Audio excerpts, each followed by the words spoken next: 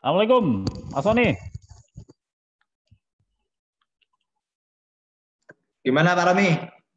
Siap, siap di Batam. Nama yang dari Alex, siapa Pak Romi saya akan jadikan co-host ya. Nanti biar kalau ada ya. Boleh, boleh, boleh. Ini siapa ini? Si apa si Giom ini mau ngirimkan presentasinya. Coba di di apa Mas di chat itu nomor email kita.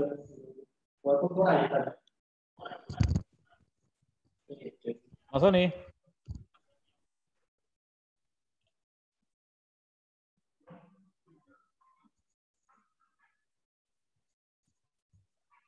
Oke.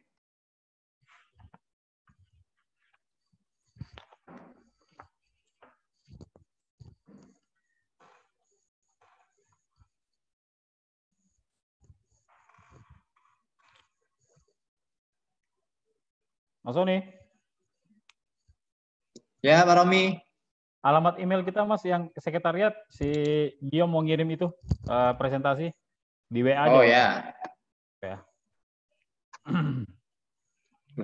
Halo, halo. Halo Mas Sony, bisa dengar kan? Itu suaranya.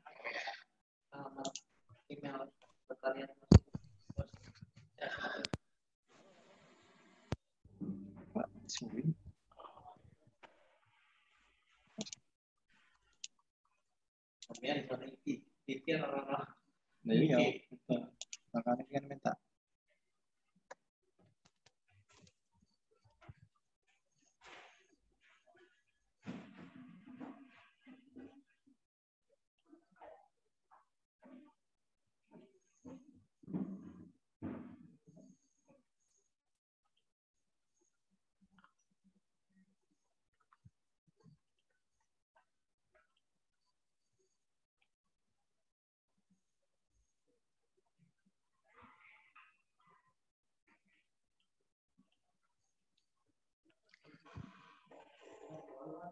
Ya enggak. Mas Sony. Halo. Halo Pak Romi. Suara saya dengar jelas Mas Sony ya? Jelas. Jelas ya? Oke, Oke. sip. Jadi saya sudah kirim presentasinya si Guillaume itu di email. Tolong di-download ya Mas ya.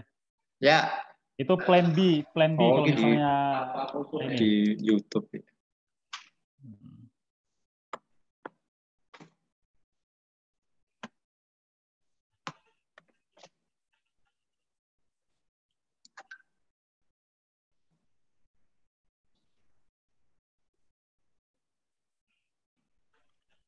Mas Sony itu Guillaume mau mau masuk itu Mas. Pak Romi di admin yang mana namanya Pak? Wah, Diem Leste mana yang Leste saya? itu lagi ini, lagi mau masuk dia, diizinkan dulu. Oh ya sudah, Sudah? sudah, ya sudah, Sudah masuk ya? sudah masuk. Mana Guillaume-nya nih? Hey Guillaume.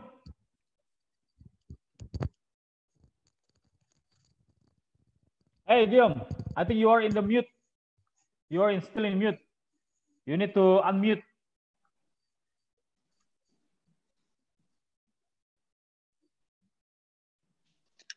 Pak Romi materinya PowerPoint mana?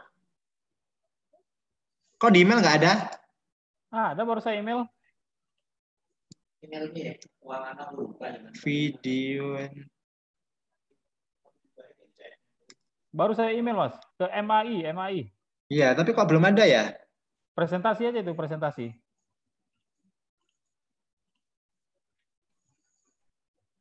Ada tak? Tak ada. Belum ada nih, Ah. belum masuk mungkin ya. Wah, masa sih ya? WhatsApp aja, WhatsApp. WhatsApp. WhatsApp. Harus download lagi berarti. Oh nggak ada, belum di mana ya? Dicoba dilihat saspam. Coba lihat spam, spam dulu. Kita kirim lagi ya, Sony Kurniawan ya, Sony. Sony Email MI aja. Pak. Ah, MAI. Aquaculture Indonesia gmail.com kan? Yes. Yes. Ini ada apanya eh, PDF-nya. Di email saya pribadi ya nggak ada. Saya hantar nih, saya hantar. Wes, Wes, Wes saya kirim. Oke. Ma.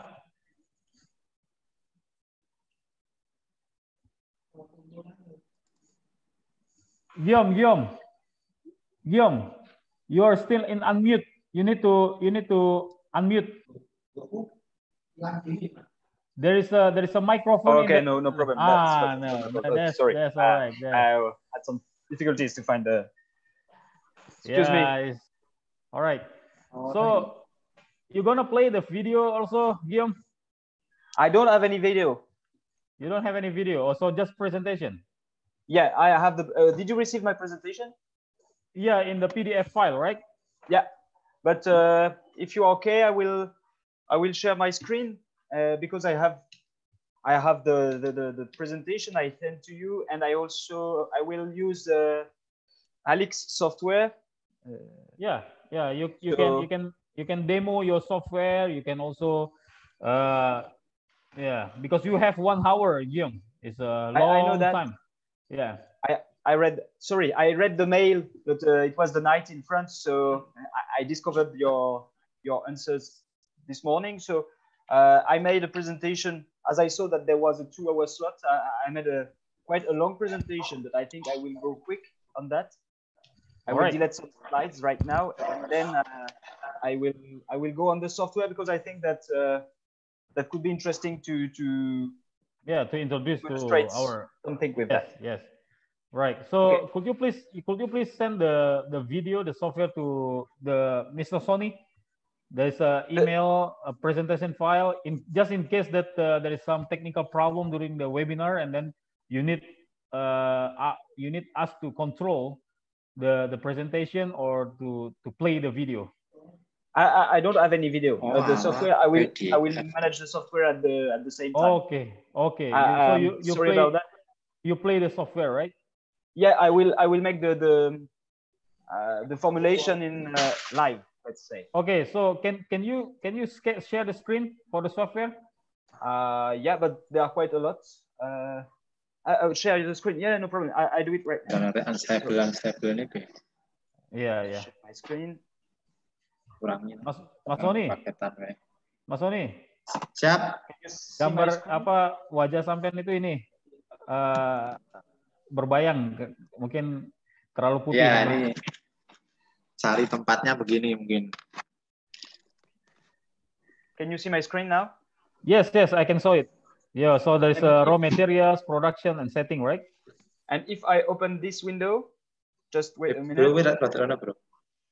because it's a lot of different windows so i need to be sure that uh, all the windows are Yeah, Can you please, see it? please, yeah, please play around.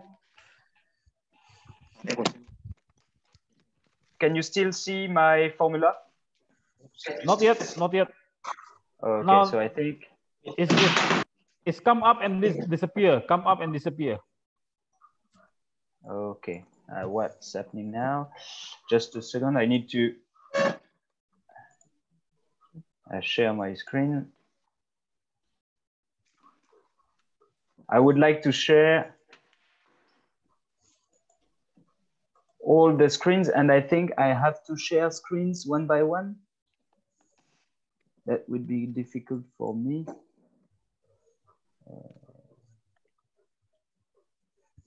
just a minute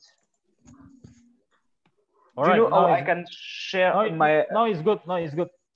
yeah, but I can- uh, I I- I would like to share all the screens, not just some uh, not just some screen. I have two screens, and I would Ah. like one screens to be shared with you, uh, all the, the the screens if possible. So I'm just looking for, Screen for one. that. Mr. Sony, can we do it? Uh, two screen at the same time? Just no one screen, but I I there is one. My computer is uh, right in front of me, and I have another Okay. screen on my left. And on this screen, I have my presentation and I have the software, the formulation software. Okay, okay. That's that's And that's okay. want to That- share. yeah, that's Yeah. you can change. That's uh, you can just simply change the from your laptop to your PC. Yeah, that's it. And uh, uh, I have my PC, and I just want my my PC, but I don't want to share screens one by one. I have my formulation software. I have, for example, I can make three formula at the same time. And I would like to share the three screens with each formula at the same time. And now, as far as I understand, I can just share one, uh, one screen. All right, we can do that thing. Uh, do you know how? Say it again. What what you yeah, I will, I will, I will show you. I'm just looking Okay. at that. Is it uh, Agrix Abelila is uh, also from from your company? Brill? No, it's another. This is not my company. I just uh, use this software, and they asked me to do this presentation. But Brill is another company. Uh,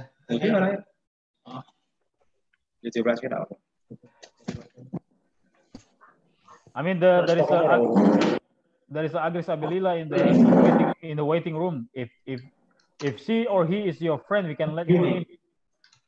ah, yes, we, we can, no problem. Is it your friends?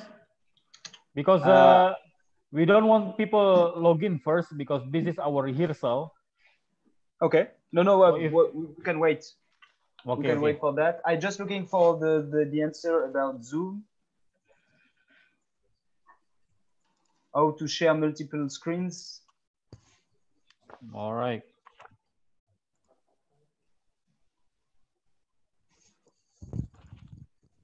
Mas Sony, Jadi gimana Pak Romi? tanggal berapa lagi kita yang kosong Mas Sony? Tanggal tanggalnya ya masih kosong nih, paling bulan Juli atau eh bulan Agustus. Khusus ya, untuk Prof Yusinta ya. Kepiting, Ya. kepiting. Oke. Because yes, it will be complicated as I have uh, I, ca- I I have to share all the screens one by one, so it will be uh, a bit complicated like that. But no. Pak Romi, nanti presentasinya dari narasumber langsung atau dari sini? Dari narasumber. Oh ya sudah. So Guillaume, you control your presentation, right? my, my presentation is okay, but the problem is comes from the the formulation software. As I have to, sh- you know, each time I want to do something new, I open a new screen in my formulation software, Okay. and uh, I have to share this new screen with uh, with you. All right. I don't know if you understand that. What I mean? Yeah, yeah, I understand. You you have to screen and then you want to share one by one the the. But I think in Zoom, in Zoom, you you are only allowed to share only one one file at one time. Yeah, that's what I see. So I will do my best to do it. Uh, the the, Yeah, the The appropriate. thing is, uh, the thing is, uh, when you change when you change the the file, you just simply uh, turn off the the the file that you're sharing right now and then change with another file. Mm, that's it. Hmm. So I need to be sure that I share the appropriate screen. So now you see a, a formula, I think. Yeah, I think yeah, yeah. I, I saw it. The wheat industry, soybean meal, Argentina, forty-seven. Yeah, yeah. That's it. okay, so I have I have to take this into account, but uh, that's okay for me. One, two. I have three formula. Berapa peserta kita mas yang daftar mas? Okay for that. And now Kalau yang daftar lewat registrasi 447, Dari berapa negara? kurang lebih ya lima lah. Dari mana aja? Okay. Ya dulu. And now you see my presentation, I think. Yeah, I saw it. Now is uh, so, so we are we are talking about the participant number now, Guillaume. Uh, there Yeah. are several people from several countries attending your presentation today. Okay, So I perfect. think you are the you are the big star today. So uh, yeah, Mr. Sony, how many countries attend this? From what country? Indonesia and Philippines. Mr. Sony, Yes, what country? five country. Uh, what is the name of the country? Indonesia, India, India ya. Iya, iya. Okay, good. Quite Kalau untuk datanya yang diminta oleh Alex nanti sudah banyak itu kalau data apa company itu kan. Peserta. Oke, oke. Nah. Sip, sip, sip, sip. Sampaikan Oke. juga kalau kita live live uh, di YouTube, Pak. Jadi tidak hanya di Zoom. Okay. Hey Guillaume. Yeah. You can you can let the people in the Haliotika. Am, am I pronounce your the, the the company name correct? Yeah. Halio The right way. Haliotika. Haliotika, right? yes. Haliotika. Okay, okay. Haliotika. So please let them know that uh, this also broadcast uh, in YouTube. So this is live. So if they uh, cannot attend the webinar, they can also see our performance YouTube live Okay. YouTube. Okay. You want me to share the the link? Yeah, of yeah. the YouTube? please please please. So all, all all the people in the Haliotika and also in the at the A systems will know about our webinar. I shared it on uh, on LinkedIn, and I think that there was uh, quite a lot of people who who connected to that or saw at least the, the invitation. So up, just give me a minute. all right so give me five to seven minutes i have to go to the west washroom Yes, to clean no everything problem. all right Everything is okay for for me. what you also do the same thing right Yeah, perfect. Thanks. all right mas Oni saya izin dulu mas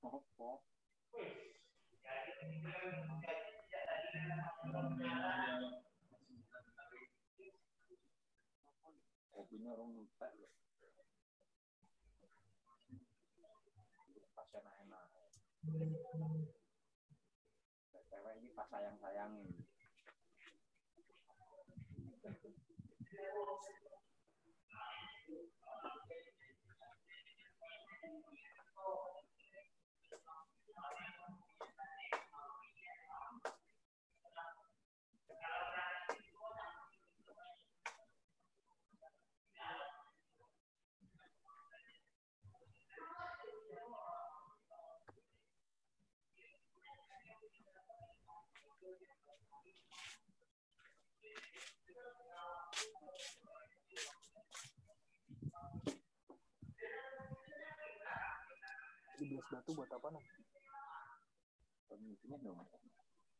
Mending, mending beli aqua botol ya, itu botol, aqua botol yang literan itu isiin air, itu kan, freezer, di tiap butuh tuangin.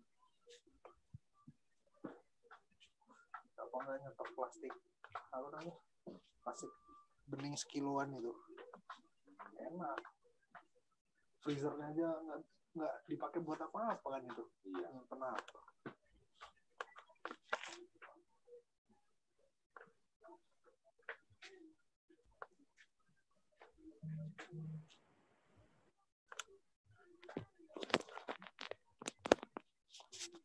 belum vào không mau bạn cả chỉ có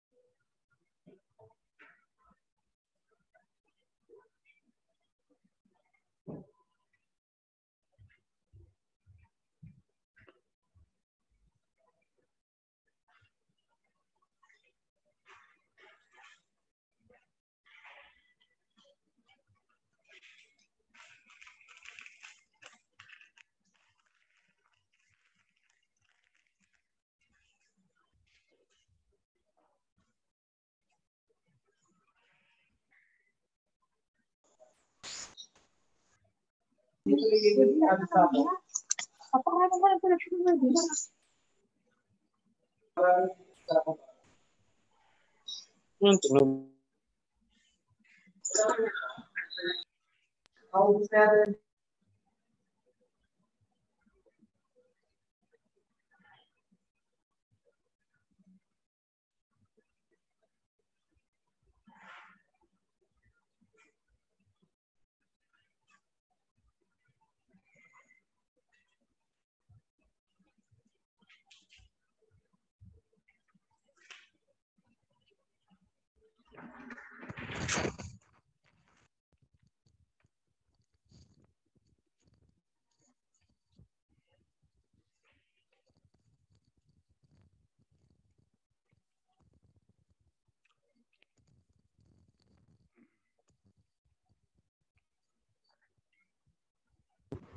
Halo Mas Sony.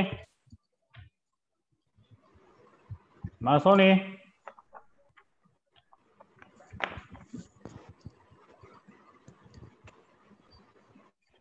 Siap, Pak Romi.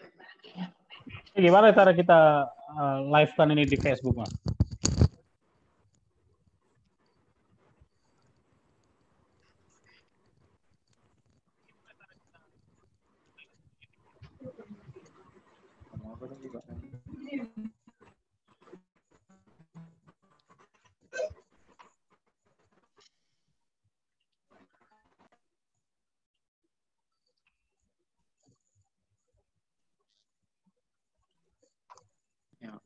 Eh, sapa-sapa dulu nih kayaknya.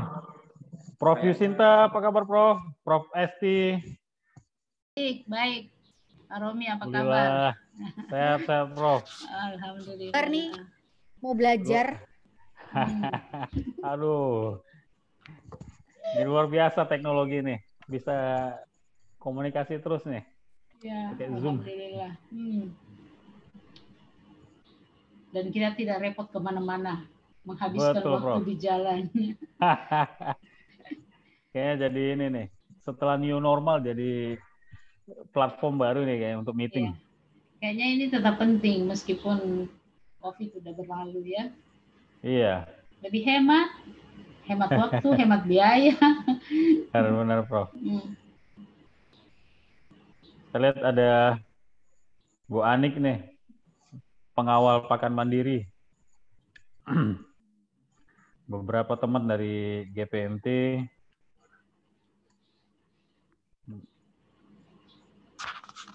Iya. Ada juga peserta yang pakai tulisan India kayaknya ini ber- berarti dari India nih.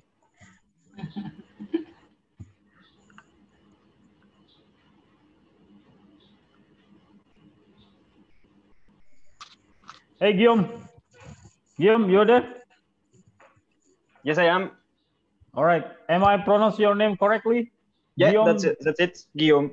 Guillaume, Ler, Guillaume Lereste, yeah? Exactly.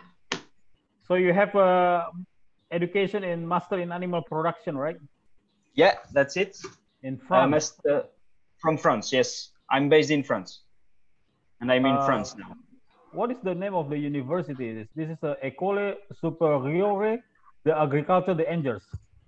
Is it École? École supérieure d'agriculture d'Angers. École Supérieure d'Agriculture It de means Angers. uh, Okay. it means agricultural high school, and Angers is the the name of the city. All right. So you also attend the diagnostic approach at the University of Udine. Is, Udine, is it in Mm. Italy? Udine is in Italy. Yeah, And also Ah. Institute of Zaragoza in Spain, right?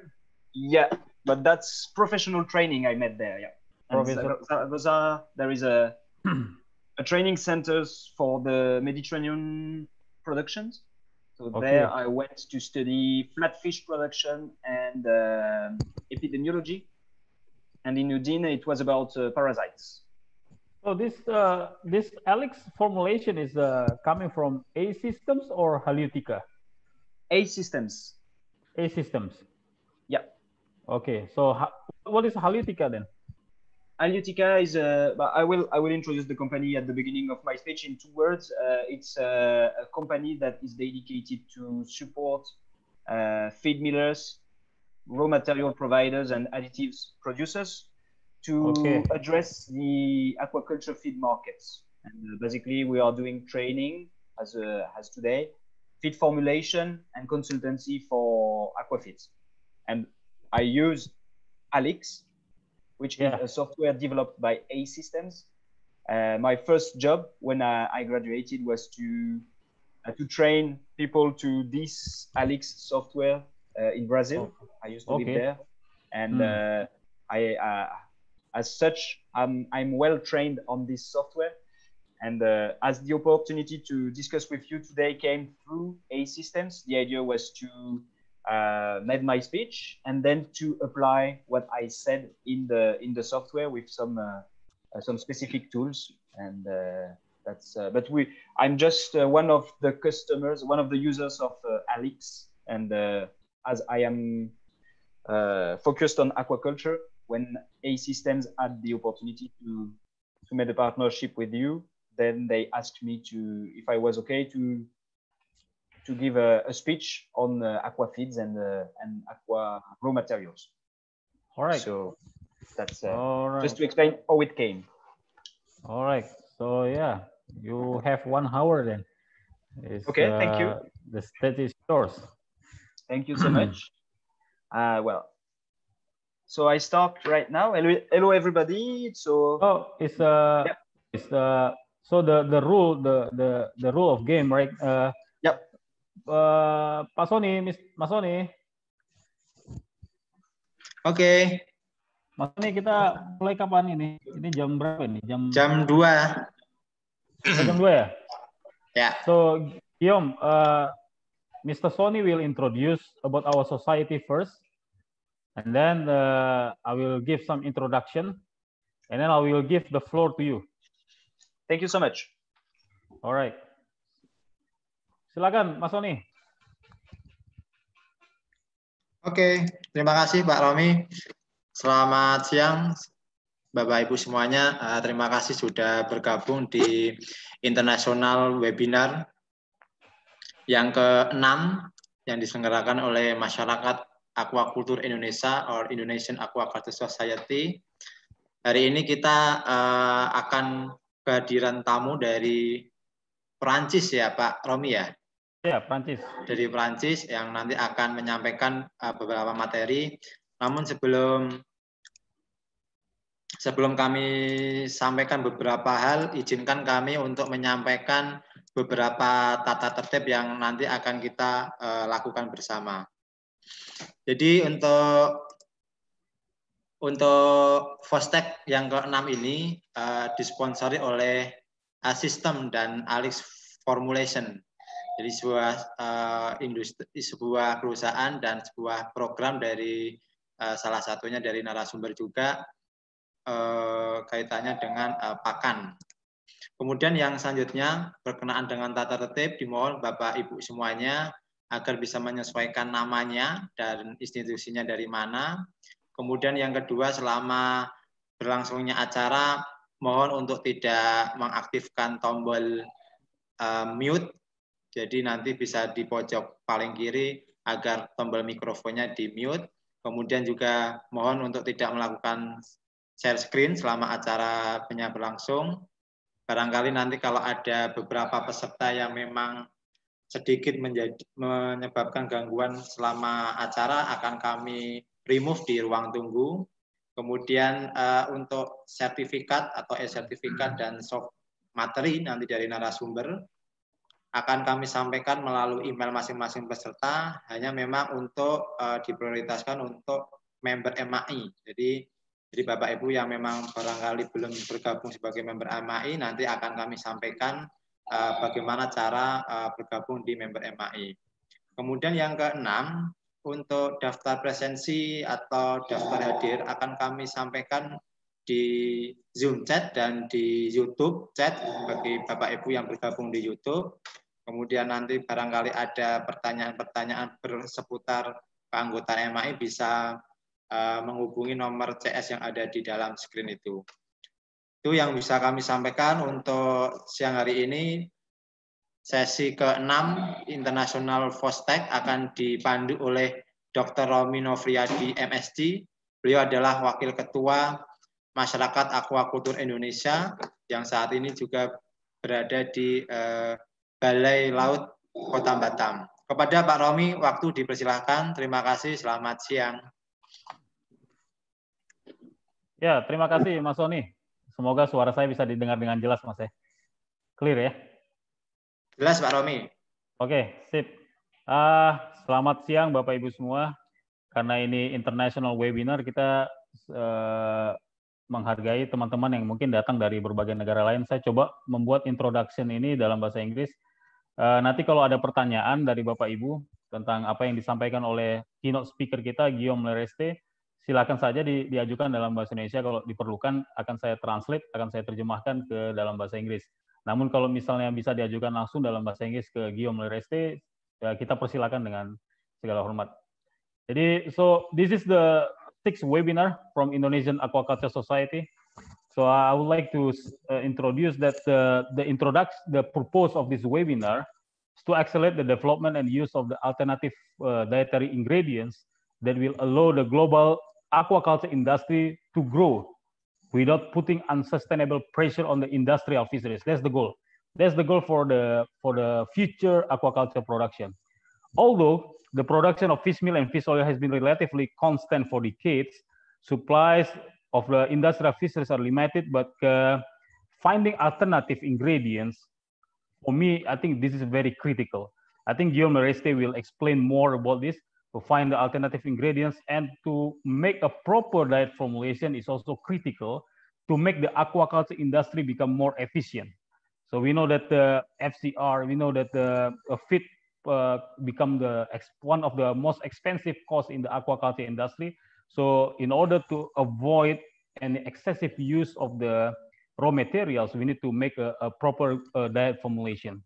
So this webinar are prepared by Indonesian Aquaculture Society, work together with the Institution of Aquaculture Singapore, and support by the A system uh, that has the formula, uh, software formulation, Alex formulation.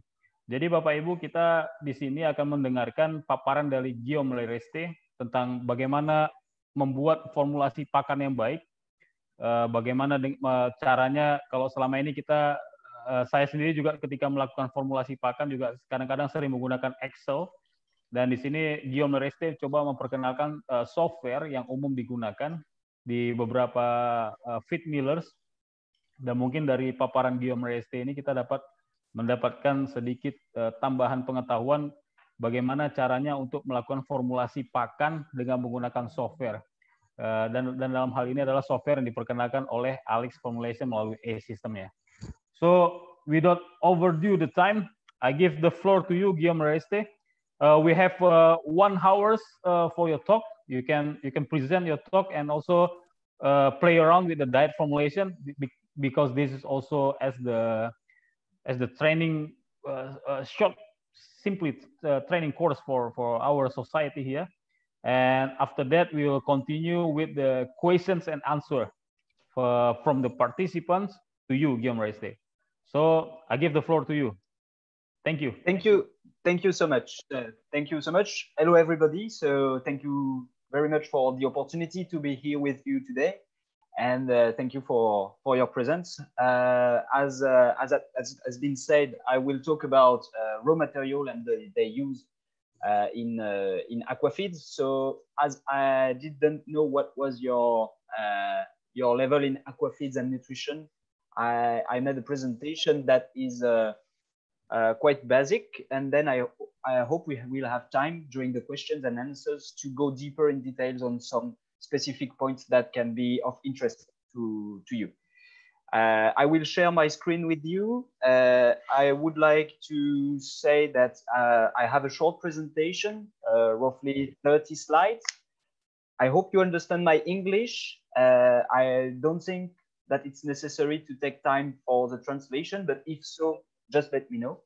Uh, I will so first of all introduce the subject with a short PowerPoint presentation, and then I will move to um, the Allix formulation software uh, developed by A Systems. Uh, A Systems is the, the partner of this session.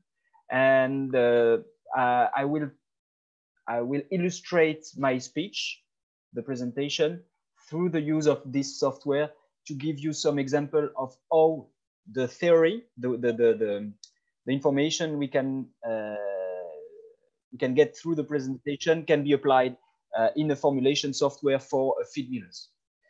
So I will share my screen with the presentation first, this one. So now I think that everybody can see my screen. If it's not the case, please let me know. Uh, and I will start my, my, my, presentation. I will speak for roughly 45 minutes and then we will go to, to Allix. I just start my chronometer to get to be sure to be on time. Let's go. So just few words about this presentation. Uh, for those of you who have difficulties to follow up through Zoom, uh, it yes, I see that somebody right the end. Uh, how can I see the the question? Can you let me know? No, no question. Yeah, if you have any question, just feel free to write them down in the in the chat, and I will do my best to answer at the same time. But uh, uh, I will focus on my presentation. So if it takes time, don't hesitate to. I, I think Guillaume, Guillaume uh, yeah. sorry to interrupt you. You can just go ahead with your presentation, and then we we will have a question and answer after after after oh, okay. So, so you can focus on your presentation first. Perfect. Thanks a lot. It will be it will make it easier for me.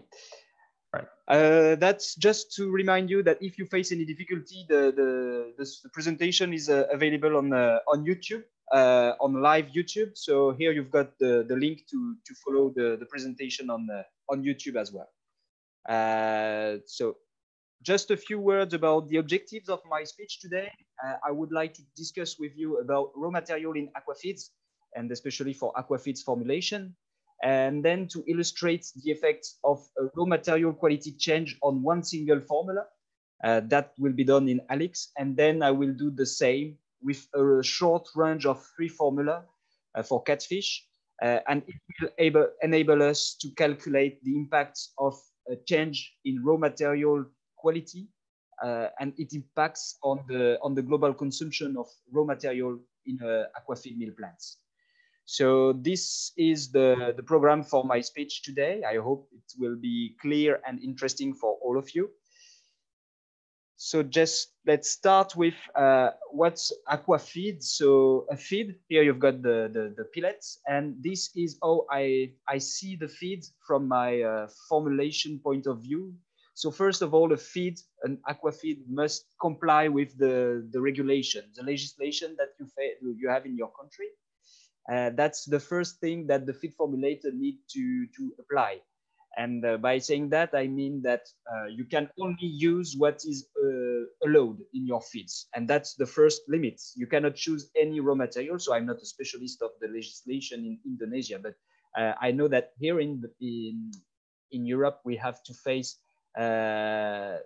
we face some difficulties when a, a new raw material comes on the market because we don't have the authorizations to use it in aquafeeds. Or if we do that, that's just for trial purposes and the fish or the shrimp fed with this new raw material is not allowed to be sold on the market.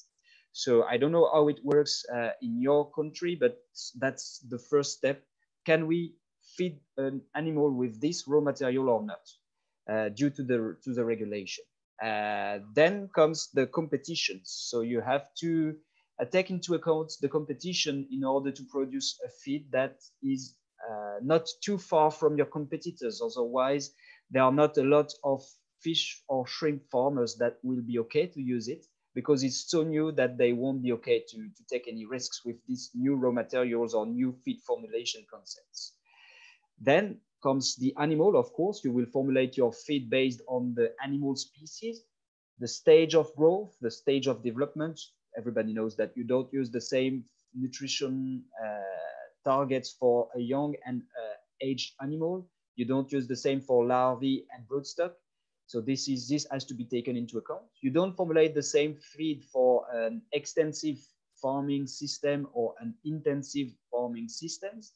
And depending on the objectives of the farmers, uh, whether it is to have a very, very high growth or uh, to protect the survival in order to have a better survival, even though if the growth is lower, then you will adapt your formulation to those uh, specific targets. You have also to take into account the certifications, depending on the, the, the, the farms you are going to sell the feed to. You have to take into account that this farm can be an organic farming or uh, this farm is selling its products to a specific uh, supermarkets. And these supermarkets uh, has its own um, its own certification. And through that you cannot work with any raw material or any any additives that you want and that's just to remind what is the context. And the, the the things we are going to talk about today is not no one of those four points but uh, this one the ingredients and the raw material. That's a key issue when it comes to feed formulation and especially aquafeed formulation. Today we are going to talk about ingredients and raw materials. And the use of those ingredients and raw material depends upon uh, prices, availability, disponibility on the market. And that's what we are going to talk about today. And this is just to remind you what a complete feed is supposed to do. So the first of all, you have to fulfill all the animal requirements. It means that the feeds, each pellet need to provide the fish or the shrimp with the uh, appropriate amount of each essential nutrients to enhance the uh, to, to, to, to ensure its growth and to ensure its development. Uh, allowing a rapid growth is most of the time the main top, the main objective of the farmer, but uh, this is not always the case. You also have to keep in mind that your feed must have a limited environmental impact, not only for the environment, but also because your animals are living in their environment. Uh, it's very specific to aquaculture but uh, the water will be impacted with low quality feeds and this will impact the health and the growth and the performance of the animals you, you, you are farming. So with uh, bad quality feeds, you also impact the health by the um, deterioration of the water quality in your system. So the, a good feed must have no impact on the health of the fish, uh, give a satisfying end product. Uh, and by saying that, I mean, for example, you have to be sure that the pigments you put in your shrimp feeds will allow the shrimp to develop the specific color that is awaited by the farmers or the customers. But if it comes to tilapia or other whitefish, then the pigments turns to be uh, a limit. You, you have to be sure that you don't put too much pigment into your feed through the raw material.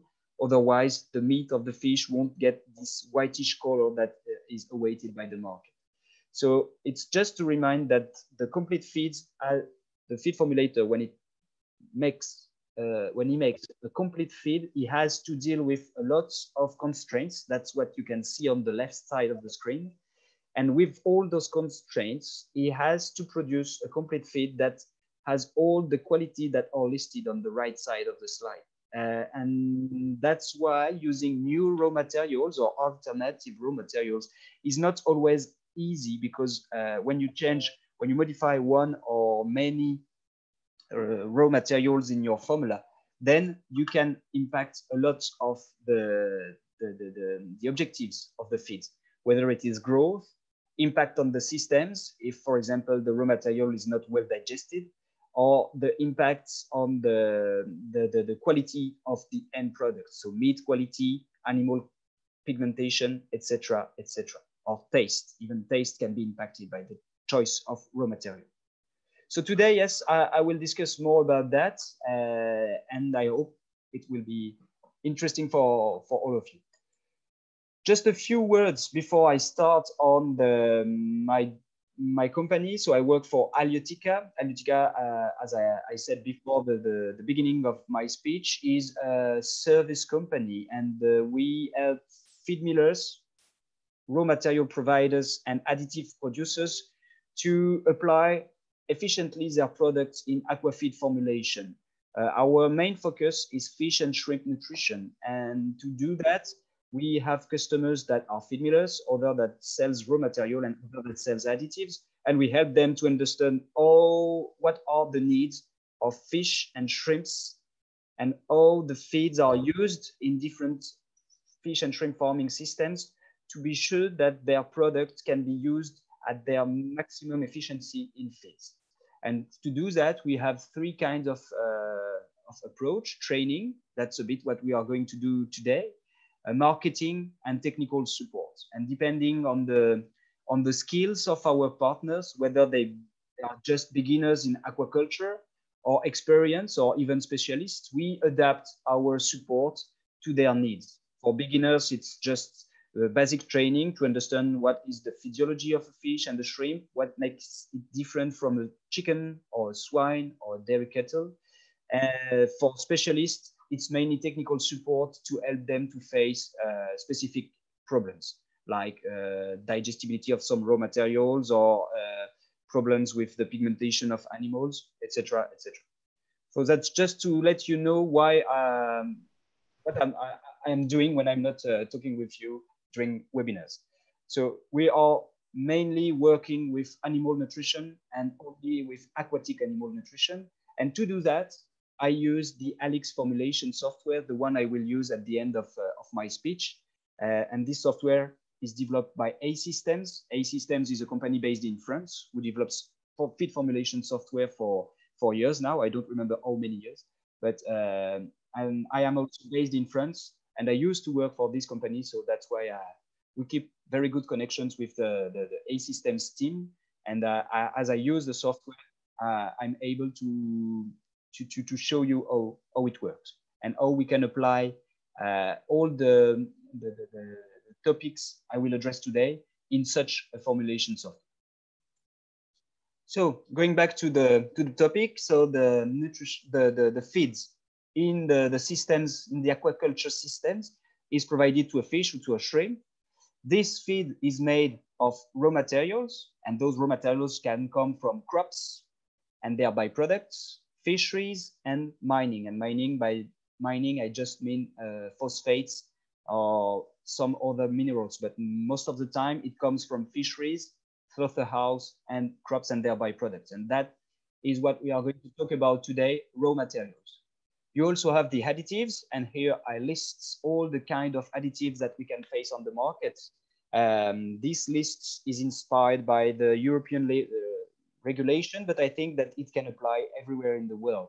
Uh, you've got additives that you use for technological purposes. That's the additives like antioxidants, uh, binders, uh, etc. So the, the, the additive that helps you to make a proper feed.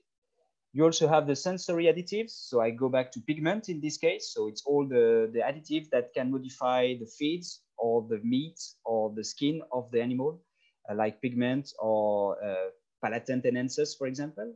You also have all the nutritional additives. So in this category, we have the vitamins, minerals, amino acids, all the molecules that you add into your feed in order to enhance its nutritional quality or to bring any missing piece in your formula. And you also have the zootechnical additives. And in this category, it's all the additives that allows uh, you to improve the performance of your fish or shrimp. And by mixing those raw material and those additives the proper way, you can make a feed, but this mixing and cooking has to be managed. I won't go into details into this step today because we just have one hour, but this uh, this formula that you make with the Allix software based on the nutritional knowledge you have on, uh, on the species you want to feed, uh, those formula will be deeply impacted by the technology applied into your plant. So uh, I won't have the time to discuss about that today. We will just have some slide about that at the end of my speech, but this is also something very important. So through the plant, you mix it and cook it correctly you shape the pellets and then you bring them to the to the animal. Most of the time in aquaculture when you have to apply medications antibiotics or other products it goes through the feed i won't talk about that as i'm not a vet. I just uh, know things about nutrition and feed manufacturing but it's just to remind you that feeds is often the the, the, the support for medication as well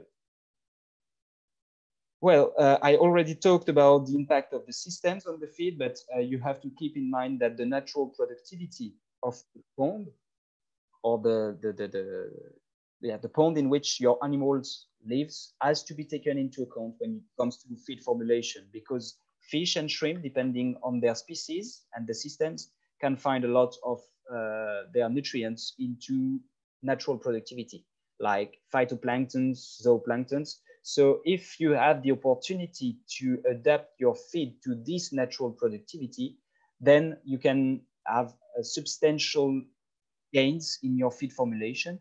And it allows you to formulate less expensive aquafeeds and to stick better to the real needs of the, of the fish. You just take into account that the fish or the shrimp can find some uh, very essential nutrients in the, in the algae or plankton that grows naturally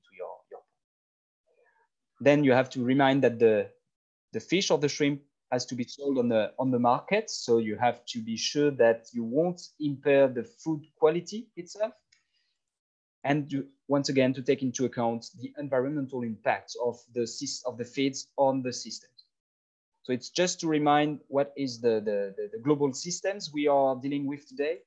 And once again, I will just talk about this part because uh, medication is not my business natural productivity is so different from one place to another and uh, this natural productivity cannot be uh, consumed by all the fish and shrimp the same way. So as we don't speak about one specific species today, I won't be able to go into detail in, on this natural productivity. And I won't talk about uh, food quality. But through the digestibility issue, I will also talk about the environmental impacts of the use of different raw materials. Well, this slide is a bit uh, uh, tricky, but I like it. Uh, I like this one. It's a slide on which we, we show the different types of feeds that we use in aquaculture. And those feeds are grouped uh, based on the number of ingredients and the moisture of the feeds. Here on the, on the X axis, you see that you've got single ingredients, simple mix of ingredients or formulated complete feeds on the right of the of the axis. And on the on this axis, the, the y-axis, you've got the moisture content. And it's just to say that today we are going to talk about those uh, those one, the pink, the pink square here, compounds intensive aquaculture feeds. But you have to keep in mind that a lot of fish and shrimps are still fed with single raw materials, just put into the, the pond like that or mixed of simple raw material cooked on farm uh, and uh, shaped and um, grinded on farms and put directly into the pond like that.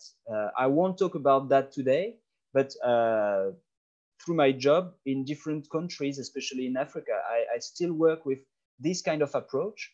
And it's very interesting to take this into account because in this case, aquaculture feed is just a part of a global system in which the farmer produces its, its own rice, for example. He heats the, the rice and use all the byproduct to produce uh, chicken or, or fish. And he uses even rice straw that is not uh, adapted at all for, for fish or shrimp nutrition, but he put it into the pond and through that he thinks he, he fed the, the, the, the animals, but in fact it just enhanced the, the, the, the algae bloom and the zooplankton growth but at the end it will feed the, the animals but uh, that's not uh, that's not really aqua aqua nutrition. But today we will just discuss about that the steam pelleted feed and extruded feed that are used to make complete aqua feeds so my speech today is not to, to talk about uh, raw materials used one by one or in simple mix but to make complex mix of different raw materials in order to get a complete feed that fulfill all the animal's requirements. Uh, just to keep in mind, uh, this is a slide that gives you an idea of the four different types of feeds that you have to formulate for each aquatic species on Earth. So here you've got the life cycle of almost any animal species. So it starts with the broodstock, and the broodstock gives you some eggs and sperm. So you get eggs. And when those eggs hatch, you've got very young animals. And then you, you, you, you rear them up until the larval stage. And once the larvae are big enough that they go to the grow out stage, and this is the longest period in the in the, the life cycle most of the time. And those animals, once they reach the marketable size, they go onto the, the market. And on these slides, uh, you've got the fish feeding objectives, but it can be the shrimp feeding objectives that are linked to those different life stages. Uh, when the animals are very, very young, uh, just hatched, then the, the main objectives of your feed is to uh, wean the larvae because most of the time you they at the beginning they, they rely on the egg yolk and then they start eating some algae or the zooplankton. And when it comes to complete feeds, the, the job that we have to do when we formulate feed, then you have to be sure that you are able to provide the very small and young animals with incomplete digestive tract with an appropriate feeds that help them to switch from natural productivity to complete feeds. So when you formulate a feeds eh, for those very young animals, the, the, the objective is to find mix of raw material and presentation of those raw material that is adapted to the to the mouth opening, but to the digestive uh, systems as well of those very young fish. And you have to be sure that the palatability is good enough to make those animals uh, to, to, to, give these those animals the, the, um, the idea to hit those uh, complete feeds.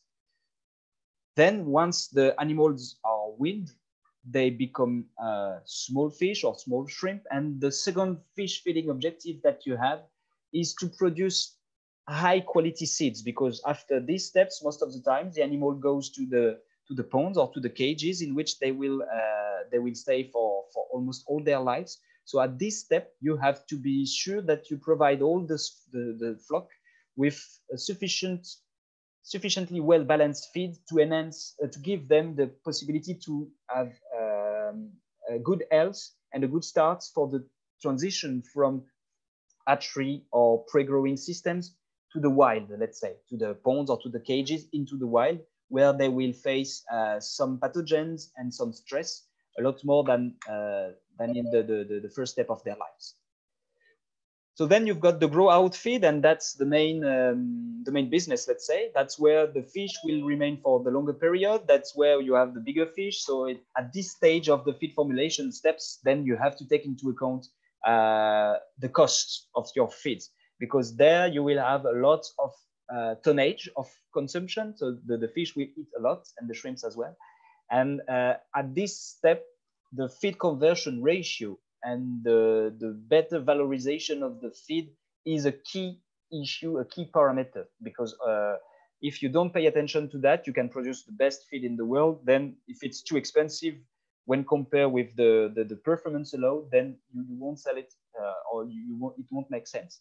So at this step, reducing the feed conversion ratio, being sure that the fish or the shrimps are able to digest and absorb maximum of the nutrients that you provide them through the feed is the key issue.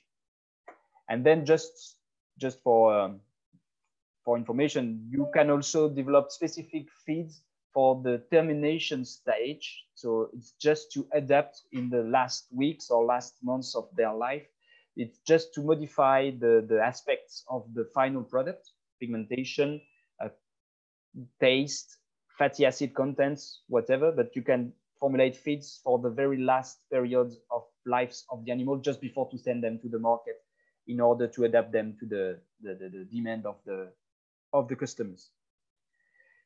And the last fish feeding objective is dedicated to uh, broodstock. So in these specific feeds, you have to adapt the feeds to uh, your specific objectives, which are producing high value added eggs and uh, very uh, efficient sperm. So in these specific feeds, you have to pay attention not to the price. Of course, you have to pay attention to the price and the cost of the feed.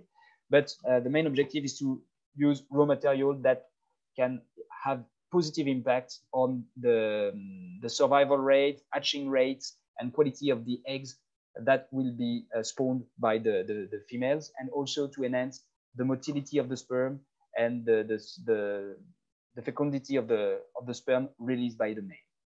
So it's just to remind that you have different objectives when it comes to fish and shrimp feeds, depending on the size of the animals you are feeding.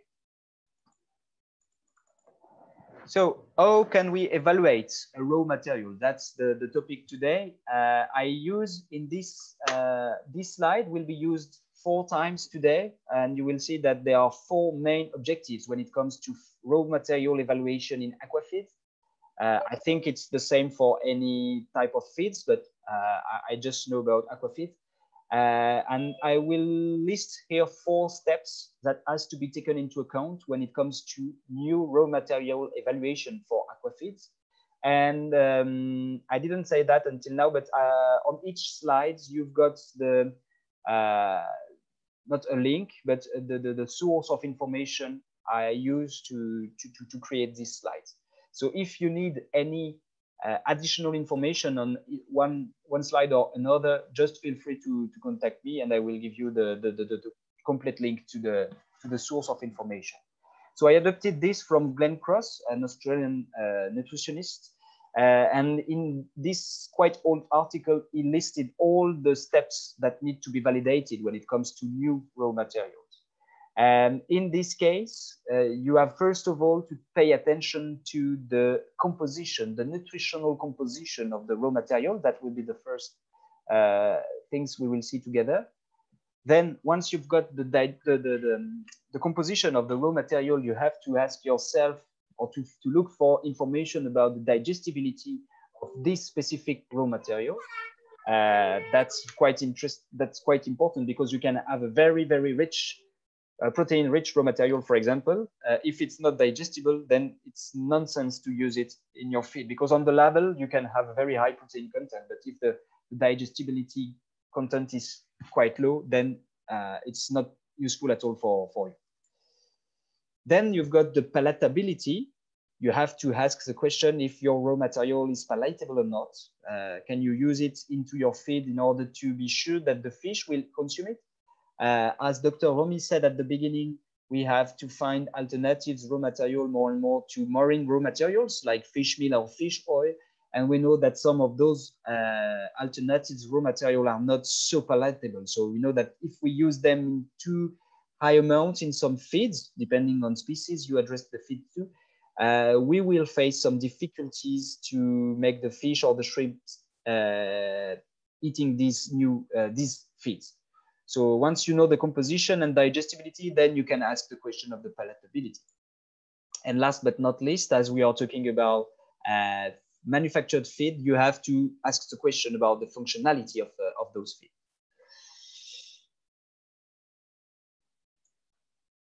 Okay, so first of all, I will discuss about the composition. And when it comes to the composition here, uh, it's a very basic information. Uh, in this case, uh, you've got four raw materials, so rapeseed meal, cotton meal, fish meal, uh, standard, and soybean meal. And it's just to remind that you've got different level of proteins, fats, fibers, and ashes, depending on the source of raw material you use. And of course, the most uh, protein-rich raw material is the fish meal in this case. And you see that the, the, the, the meal, so the oil extracting byproducts, are quite rich in protein, but uh, far, far uh, from the, by far lower than the, than the fish meal. Uh, the fat content, here it's just an example, it can uh, be quite, uh, quite different depending on different on different uh, topics. I will talk about that later.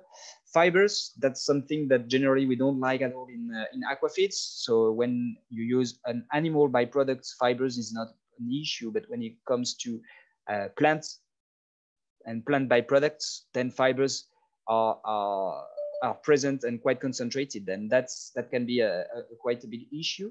And you also have to pay attention to ashes uh, like uh, uh calcium and phosphorus. So that's for the basic information. Uh, but then if you go a little bit deeper into details on the raw material, uh, you have to pay attention to the, uh, the details analysis. So when I spoke about protein, in fact, I won't do many things with this information when it comes to feed formulation. I have to pay attention to the amino acid profiles. And I hope you can see it clearly on your screen because there are, uh, it's not written in big uh, uh, characters, but you see here that we can compare the essential amino acid profile of poultry meal with the essential amino acid profile of fish meal.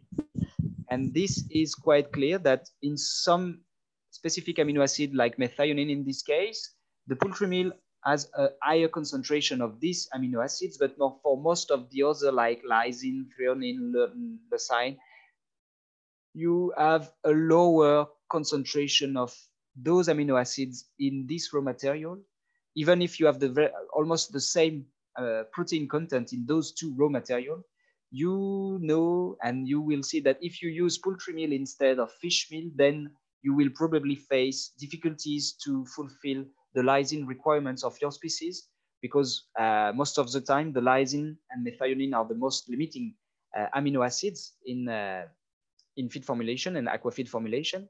And in this case, it's quite obvious that methionine won't be a big issue, but lysine will be. And on the other part of the screen, you've got soybean meal and fish meal that, uh, that are compared. And you see here that the soybean has some uh, amino acids that are lacking when compared to fish meal. And that's something you have to pay attention to when it comes to raw material evaluation. So it's not only what uh, the, the, the, the, um, the raw protein or raw fat content, but you have to go deeper into details. And when it comes to protein, you have to know what is the content of uh, those essential amino acids in each raw material. Then I, I spoke about fats, uh, but behind fats, there is the question of the fatty acids. And here you've got the fatty acid profiles of four different fats, uh, poultry fat, so animal, land animal byproduct, anchovy oils, so fish oil, marine byproduct. And at the bottom, you've got two oils uh, obtained from, uh, from plants and like palm oil and rapeseed, rapeseed oils. And the presentation is here you've got the concentration in percent of each oil in many fatty acids. So you've got the, the, the, carbon number of the, of the considered fatty acids and the level of insaturation. And if we look at the anchovy oil, the blue bars, the blue bars here, it's the fish oil. And you see that uh, you've got specific fatty acids that can only be found in those, uh, those raw materials. Very long chain polyunsaturated fatty acids like EPA and DHA can only be found in uh, fish oil. And when it comes to poultry fat, palm oil, rapeseed oil, you don't face those unsaturated fatty acids. And that's another things you have to pay attention to when it comes to the choice of raw material. So it's not only protein, it's essential amino acids contents. It's not only fat, but essential fatty acid contents. And that's the first step of your characterization of the raw material. And once you know that, you have to, to have different analyses of the very same raw material in order to have an idea of the variability of such parameters into your, into your raw material, in order to pay attention, for example, uh, to the possibility that one batch of your raw material contains 45% of protein and the next batch is 40 then you have to know that or to be aware of about that in order to be sure that uh, the, the, the, final feeds that you are producing will have the very same level of protein. So it's not only about protein and fat, it's about the essential components of proteins and the essential component of fats. And as you can see, I will share with you, I saw that there are some questions about uh, the, the, the, fact that you can get those slides. Of course, uh, uh I will send them to, to you, no problem about that. But you, you will see that in my presentation, there are some links to different database in which you can find all those information. Uh, all the information I will use today are uh, freely available on the, on the internet or in different uh, uh books or sources.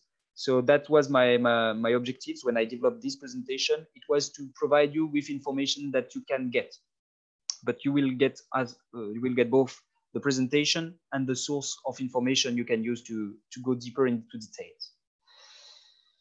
So I spoke about proteins and essential amino acids, fats and essential uh, fatty acids. Then comes the starch and all the uh, carbohydrates.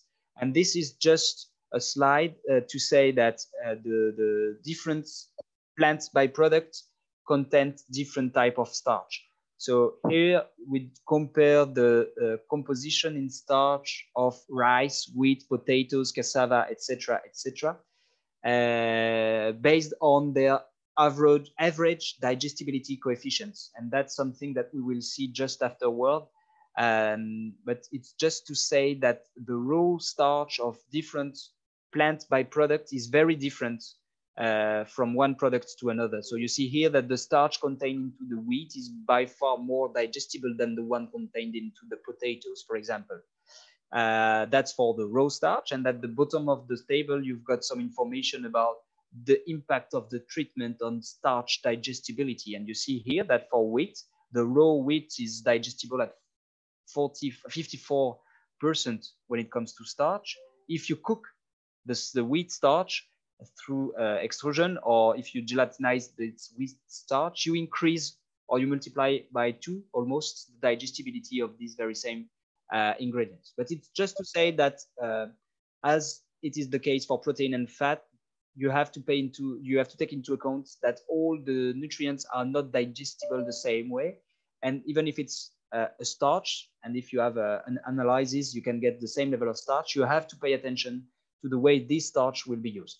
Uh, it depends on type of raw material you will use, but it also depends on the species you are working with, because we know that some species are more able than others to digest the, the starch.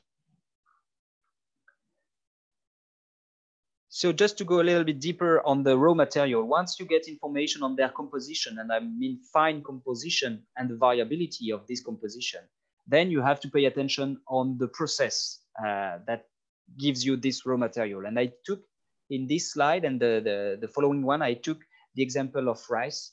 Uh, and you just have to pay attention to the different products and byproducts that are produced with the, the rice. So if you harvest one ton of paddy rice, you produce at the same time 1.35 tons of rice straw. And then you process the, the, the rice and you shell it, you mill it, and then you sort it. And at each step of this process, you get a byproduct. So husk, bran, broken rice, and all those raw mat those byproducts, straw, husk, bran, rice, can be used in animal nutrition. But uh, when it comes to aquafeed, you cannot use the straw. We will see why just after after, and you cannot use the husk. So you just have to pay attention to the different process that are applied on your raw material in order to be sure that you get uh, um, byproduct that is stable in its composition and that is obtained with uh, processes that are um, feed friendly, let's say.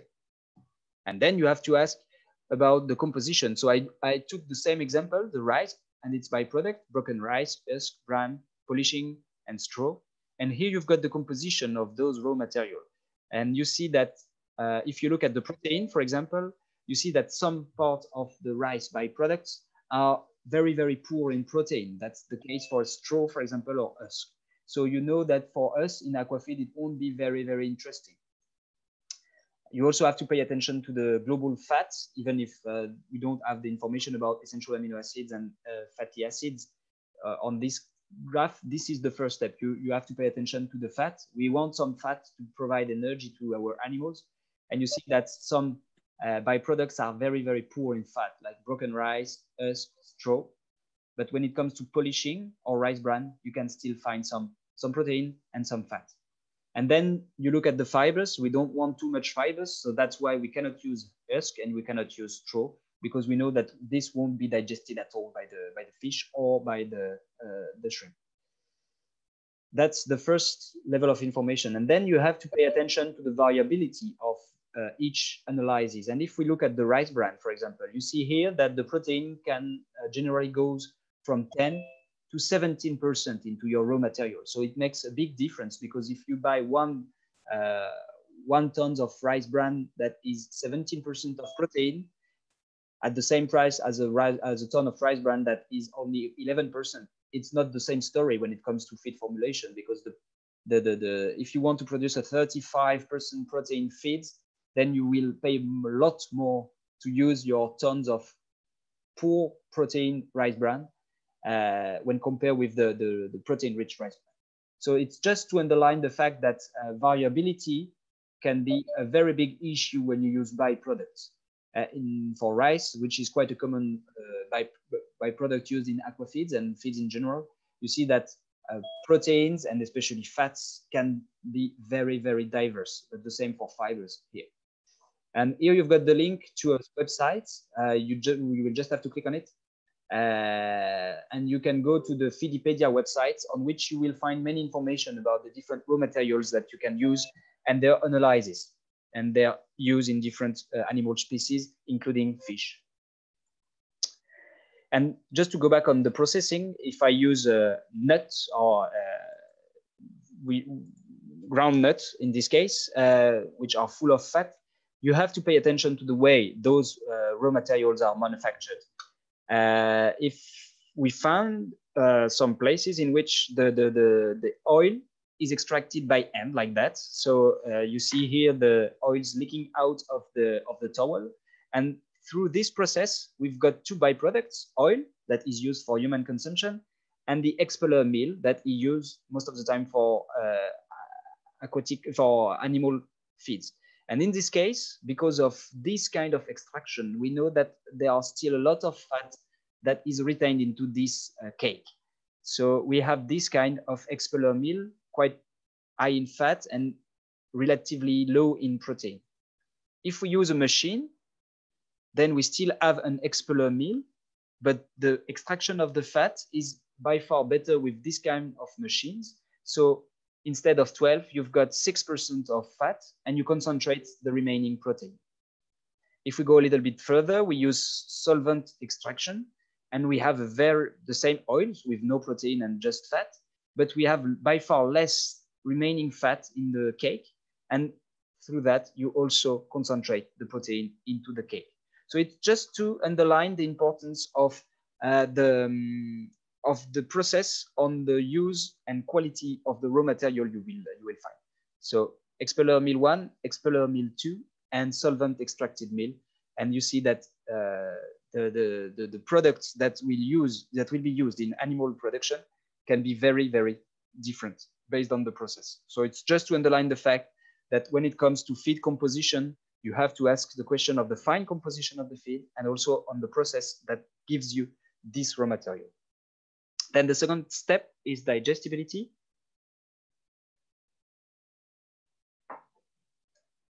So that, sorry for that. Uh, here you've got uh, the theory behind the, the, the, the digestibility in animal, uh, in aquatic animals. So I think that most of you know that, but uh, uh, as I don't know your background, once again, I, I, I took the very same uh, the very basics of digestibility. So you put some inert marker into your feed. Uh, you formulate a specific feed. You give it to the to the fish, and then uh, you get the, the, the the feces. And in the feces, this inert marker, the marker that is not digested by the animal, uh, will concentrate into the feces. And when you analyze the feeds and the feces, with the difference, you can get the information about the digestibility of the raw material using quite simple equations. It's used in any animals, but the difficulty in uh, aquatic animals is, the, is linked to the fact that we the feces are dropped into the into the water, and this leads to a dilution of the of the water soluble part of the feces and an overestimation of the of the digestibility of the nutrient. And this graph, uh, maybe it's a bit uh, complicated, but uh, I think it's very useful. Here you've got the time after the, the, the, feces has been dropped into the water by the animal. And here you've got the, um, the, the, the, uh, the content in protein of your feces. So you use uh, the, we use in this case, the, the Kjeldahl analysis. So it gives you an idea of the content of, uh, of protein into your, into your feces. And if you take the feces out of the fish and directly anal analyzes it, you have this amount of, uh, of uh, protein in the feces. And if you calculate it, it gives you a digestibility coefficient. So it's uh, um, average digestibility coefficient, ADC, of 86 point something. If you wait a little bit, then there is a part of the feces that is lost into the water. So you have less protein into your feces and you overestimate the digestibility. So if you take the feces out of the water 40 minutes after it has been dropped into the into it, then you overestimate and you go from 86 to 91% of uh, digestibility coefficient, etc., etc. So just to go to the next uh, slide, excuse me. I wanted to show you this. I hope it will work. I, I have to share another screen. It's just to show you that as we have to, uh, just a second, I'm looking for the video. No, uh, I would like to share the video screen with you, but it, uh, it doesn't work. Sorry about that. Uh, this is just to show you the type of, uh, of techniques that is used to measure the uh, digestibility. Uh, in aquafeeds, here it's with trout, but you can adapt it to many different species. The animals lives in this in those tanks, and the feces are released into the water, and you've got a pipe at the bottom of each tanks, and you see here the out the outlet, and the out the water outlet goes through a sieves, and these sieves will retain all the feces, and this is a moving part of the of the mechanisms, and all the feces are retained on these screens, and then when it comes on this bar, all the feces are released into those buckets, and you analyze the feces here. You know the composition of the feed. You can analyze the composition of those feces, and by doing the difference, then you can measure the digestibility of the of the feeds. So the animals are in those tanks and we can get their feces out of the water in less than two minutes after, uh, after they, are, they have been put it out by the, by the fish. And uh, this is just a table in which you've got some digestibility for plant and animal byproducts used in aquafeeds. I won't go into detail into that, um, but uh, that's for you. You can get the, the presentation afterwards, so no problem for you to, to get this information. So composition, digestibility, and then comes uh, the palatability. So this is uh, something that is a bit old now, but I think it's useful. It's the description of the reaction of uh, shrimp, but it's almost the same for the fish, when, uh, when it faces a new feed.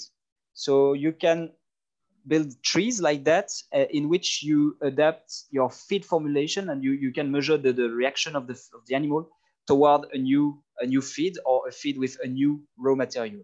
So first of all, the animal will detect the feeds and especially with the chemo attraction in shrimp, it's quite, uh, quite specific to shrimp. Then does it moves or not? If it moves toward the feed, then it's considered as an attractant.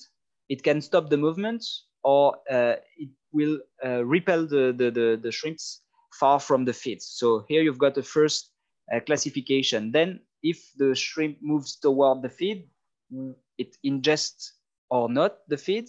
So it can reject the feed or ingest it. And if it remains on the feed, then it's a stimulant. And if it continues to feed, then you've got a, a, feed that is well accepted by the animal. You've got all the green part, attractant, incitant, and stimulant. But if, for example, after ingesting the first pieces of the raw material or the feeds, then the shrimp stops eating, then you've got a suppressant or deterrent effect. And that's just to characterize the different reaction of animals toward the feed. But it's quite interesting when it comes to new raw materials and new formulation.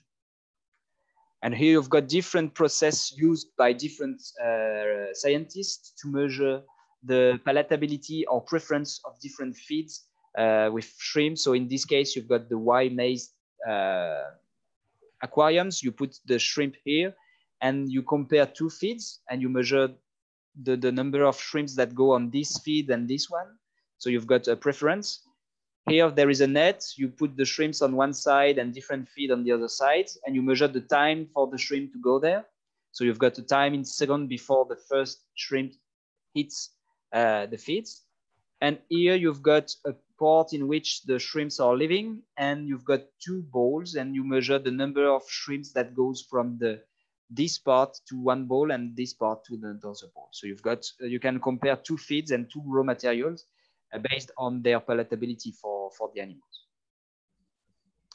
You can also use some specific raw materials that are, for example, rich in essential amino acids, because we know that some small molecules that are soluble in water, such as amino acids, are also useful to help the, the, the to enhance the palatability of, uh, of the feed. So here you've got a list of amino acids that has been tested on neutral, um, neutral um, raw material and we measured the stimulating or deterring effects of those, those amino acids for different fish species. And you see that in this case, alanine, when used in very small concentration, we talked about uh, nanomoles, uh, is most of the time stimulant, and in some species, it's a deterrent. But you've got some essential amino acids, such as arginine, that are as stimulant as they are deterrent for fish species. So it's just to say that some uh, some molecules, some specific molecules can be used to modify this, uh, this information. And I just note that hydrolysates, which are uh, very rich in uh, small peptides and uh, free amino acids, can be very interesting in such a, such a positioning because they influence the palatability of the global feeds through the presence of very small and water-soluble compounds such as uh, free amino acids. And this is a booklet. This comes from a booklet produced by ARRAINA, uh, um, a European research program, in which many raw materials have been characterized based on their uh, chemical composition, but also on their palatability. And you see that we have different raw materials. I just selected some ones uh, based on their palatal impact on the feed palatability. And you see that plant byproducts are uh, less palatant and can uh, uh, negatively impact the, the, the, the palatability of the, of the feeds. And of course, animal byproduct and especially marine animal byproducts enhance uh, by far the, the, the, global palatability of the feed. Last but not least, the functionality. I will go quick on that. I just go back to my ARRAINA slide, uh, but with different information, the very same raw material here. But you see that different raw material have different density, different pellet binding capacity, the starch contained into the, um, the, the, the, mix can be better or worse than, uh, can, can be better cooked or not, depending on the different raw material used. Uh, and each raw material also have an impact on the durability, the physical quality of the pellets. So I will let you see all that uh, at home. But in this case, we see that the fish and squid byproducts or feather meals, for example, have globally a negative impact on all those physical pellet properties. And this is uh, one of my last slides. Then I have two, two, two pictures and I will go to Allix. Uh, this is just to see that for one specific raw material, such as peas, uh, you can have very different um, digestibility or different digestibility depending on the way you process the peas before giving it to rainbow trout or Nile tilapia. Here you've got the digestibility coefficient of whole peas, raw, uncooked. The same, but dehulled. So we, we, we put the hull out of the, of the pea. So you see that uh, you have a small impact on the digestibility with this process. But if you extrude, if you cook the peas, then you can increase a lot the digestibility of the energy and dry matter, especially in uh, in trout and uh, but also in, uh, in tilapia. And when I talk about um, functionality, so this is something that you, you can see on farms. Uh, you've got feeds in the bucket and you see that there is a lot of dust at the bottom of the bucket. And this is linked to uh, the use of raw materials that are not very well uh, adapted to the process or to the uh, or are not well processed because this is lost for the for the farmers. You see that there is a lot of dust. And when it comes to on-farm feeding, you see here, you've got the feed, you've got the farmer provide uh, that gives the feeds to the fish. And you see here a, a big cloud of dust, and this is a lost raw material. Uh, and this is mainly linked to the choice of raw material, but also to the, the, the, process you apply. But I don't have time to talk about the process today. As I said, I share with you some links to different uh, books that in which you can find a lot of information regarding the analysis of raw material. Uh, this one is available in English, tables uh, for swine and uh, poultry, and uh, you can get them uh, under PDF format quite easily. And those two ones are books. This one is quite old, but it's in French. There is an English version as well, but it's quite old. But you've got all the the the the, the basics, and this one uh, is the, the the nutritionist Bible. And maybe more useful for all of you, those two links, uh, one to the Feedipedia database, um, in which you can find a lot of information about different raw materials. And this one on the right side, the IAFFD uh, database is the one I use in the Allix software. I will open it right now. And in this database, you have um, a very, very big quantity of information provided by uh, for, for, for animal feeding. So that's it for my presentation. Then uh, I will move to, to Allix. Uh, that's, uh, this is the software I will use. Uh, my goal now is just to show you one formula and the impact of the uh, difference in proteins in a soybean in one formula. And then I will make a group of formula and I will just measure the impact of this modification of the uh, protein level in the soybean to give you an idea of the impact of such, um, such a modification on the global uh, consumption of raw material in the field. So I will have to share each uh, screen one by one. So I hope it will work properly. Just a second, I have three, this one. I will share a new screen with you. So now I am in, uh, in the Allix formulation software. Uh, I will start with a catfish 35 protein, 8% fat uh, formula. So here in my software, I've got a list of raw materials. Uh, so I have got some raw materials that will be used, some of them with uh, specification on the minimum and maximum uh, concentration I can use, the prices of those raw material. and at the same time, I want to make a formula that is 35% uh, protein, 9 in fat, no more than 3% of fibers, 20% of starch for the technical uh, issues, at this level of digestible energy for carnivorous fish. I also use the essential amino acids profile, and I want some information about the uh, phosphorus digestibility. So then if I optimize, if I calculate the, the feed formula, I've got this result. So here I've got my, uh, my formula. Uh, this is the one. Um, you've got here the formula with the first lines here. Uh, you've got 35% of wheat, 22 of soybean, etc., etc. And here you've got the price of my formula. And what I want to say in this, um, what I want to show you in this uh, simulation is that for example, I use 22.8% of this soybean, 47% protein. So once again, this soybean and its analysis comes from uh, the, um, the, the, the, this, this analysis, this soybean comes from the, um, the, the IAFFD database. And it comes with, this database comes with uh, uh, equations that allows me to calculate the level of each amino acids based on the on the growth on the crude protein contents of the feeds. So here I've got a 47 crude protein uh, soybean that is used in this way. But if I go to the characteristics, I see here that I've got some uh, difficulties to make my formula because, for example, I want 20% of starch and it gives me uh, uh, higher cost. That's what it's in yellow. The software tells me if you go from uh, 20 to 90, for example, you will save six euros per ton. So if I go to from 20 to 90 and re-optimize, so you see here that I only have 90% of starch. So if the guy at the feed mill are okay to make a feed with 90% of starch, if they are good enough to make a floating feed in this case with that amount of starch, then I go down to 19.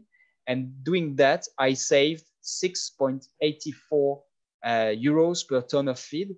And my previous price was uh, 547, and now it's only 541. So by doing that, I can adapt my formulation to the to the local context. And I also have information about uh, the raw materials that are not used, the rejected raw materials, and uh, the reason why they are not used. For example, this soybean, uh, its price 450 is too high. If its price was uh, 420, for example, it would have been used into my uh, formulation. But what I want to show you today is the impact of, for example, this soybean is a 47% crude protein soybean. Uh, what if this soybean is replaced in the next batch with a 45% soybean? So I just say to my software that this one is not available anymore uh, because the new batch that is coming is only 45% crude protein. And uh, I won't take the time to show you, but uh, when I said 47% protein, then I calculate the essential amino acid profiles automatically. And it's the same when I, I switch to 45. Uh, I have some difficulties to, to, to share screens with you through Zoom, so I, I won't take this risk. But uh, the idea is just to show you how it works. But you have to keep in mind that it's not only two points of protein, but it's also the level of each essential amino acids. So if I run again my calculation, I will stay on the composition screen. So uh, you see here uh, why it's not working. Of course, it's always like that. I did that this morning. It was working and now it's not working anymore. Sorry about that. I will take the, okay. Just give me a minute.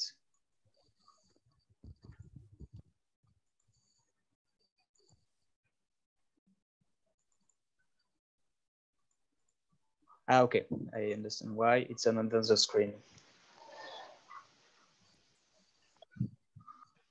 So I will do the very same thing with another another formula. Up, sharing my screen. Sorry about that.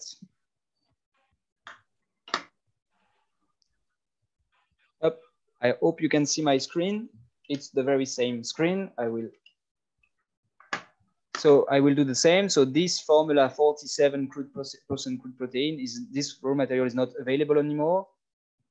So I re-optimize my feed and you see that the 47 crude protein is not there anymore and it has been replaced by the 45% crude protein. It had an impact on the use of fish meal, this one, 45% crude protein, and it decreased a little bit the 65% uh, crude protein.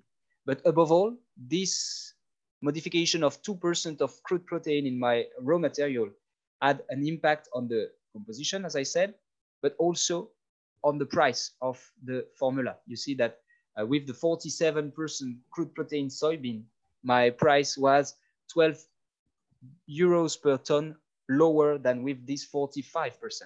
And this is linked to the global protein, crude protein content of the raw material. But this is also linked to the uh, contents of essential amino acids like lysine, methionine, threonine that is content into my soybean. As I use 45% crude protein soybean, then the level of each of those essential amino acids in the feed is lower, so it's less expensive to fulfill the, the requirements on those essential amino acids. So just for your information, I made a simulation between these formulations with a 47% crude protein soybean and a 45% crude protein soybean in three formulas. I made a range of formulas with uh, for catfish with uh, three formulas. Uh, the first one, oh, excuse me, uh, the first one is 35% uh, protein, 8% fat, 33% protein, 8% fat, and 31% protein, 10% fat. So that's a classical uh, classical range of feed for, for catfish. Then I will go to the, um, I, I made two simulation. I made the first range of formula with a 47% soybean and the second one with the 45% soybean. And by doing that, I'm able through this, uh, this software to uh, to calculate the impact of this switch of quality between two raw materials on the global consumption of raw materials I have in my plant, based on the tonnage I used on my plant. And I will show you how it works uh, quite clearly. Up those three formulas. I will share two screens with you. The first one is the tonnage list. So here you see that I have my three formulas that makes the range 35, 33, 31. And here I've got the tonnage, 600 tons of this one, 1,800 tons of this one, and 4,000 tons of this one. So I have my whole range of uh, catfish feeds. And this allows me to calculate the consumption based on the formula I use. I will share another screen with you. This one. I think it's okay now. So I go into another screen. And in this one, I have uh, four, my three formula, my three formula, and I have the production formula. So in production, I use this 47% crude protein soybean. And in the study folder, I use this 45% crude protein soybean. And then with the tonnage I shared with you, I can calculate what is the impact of this switch in crude protein contents between two soybean meals. And quite easily, here you've got all the raw material used in my three formulas. Here we see that this fish meal 65% protein with this price is consumed at 180 tons. This multiplied by the price give me this costs and it represents 5.7% of my total costs. And this raw material is used in two out of my three formulas. And you can do it raw material per raw material. And this is about my actual productions. And if I buy, for example, a, a soybean that is not 47 anymore, this is this line, but 45, this is the last line. You see that here I don't have the 45% crude protein soybean, but in my study folder, so in this part, I, I simulate the impact of these two point lesser rich in protein soybean on the global uh, raw material consumption. And you see here that uh, there is an impact on some raw materials. There is no 47 crude protein soybean anymore, but I have the 45% one. And you see here that there is a difference in the price. Here you've got the cost raw material per raw material. And you see that here you consume, this is the global price for the raw material in the first context. And this is the global price for the raw material in the context in which you have 2% uh, of protein in your soybean uh, less. So it has a clearly big impact so it's 71,000 euros per month that is lost due to this 2% difference in the crude protein content. So I won't go deeper into details because uh, I speak for one hour and, uh, and six, seven minutes now. Uh, that was just what I wanted to share with you today, but maybe just one last um, uh, screen from uh, Uh, Allix, just for you to, to understand what I've done with the, the raw materials. So as I said, I have share my screen with you. And this will be the last one for sure before the, the question. So here it's the, the, the raw material database. So if I go to my soybean meals, so as I said at the beginning, I had a 47% protein. And by modifying this crude protein uh, of my soybean, I will recalculate all the essential amino acids that we can uh, see here. I will apply some equations. And you see that in a 47 crude protein soybean, I have this level of uh, essential amino acids. And this is calculated automatically. And if I go to uh, 44.9, uh, then I will recalculate based on that. You see that I lower the content of those amino acids. I will do it again, 47.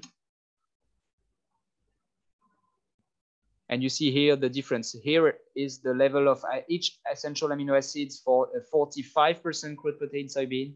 Here you've got the the, the concentration in each amino acids for 47% crude protein soybean meal.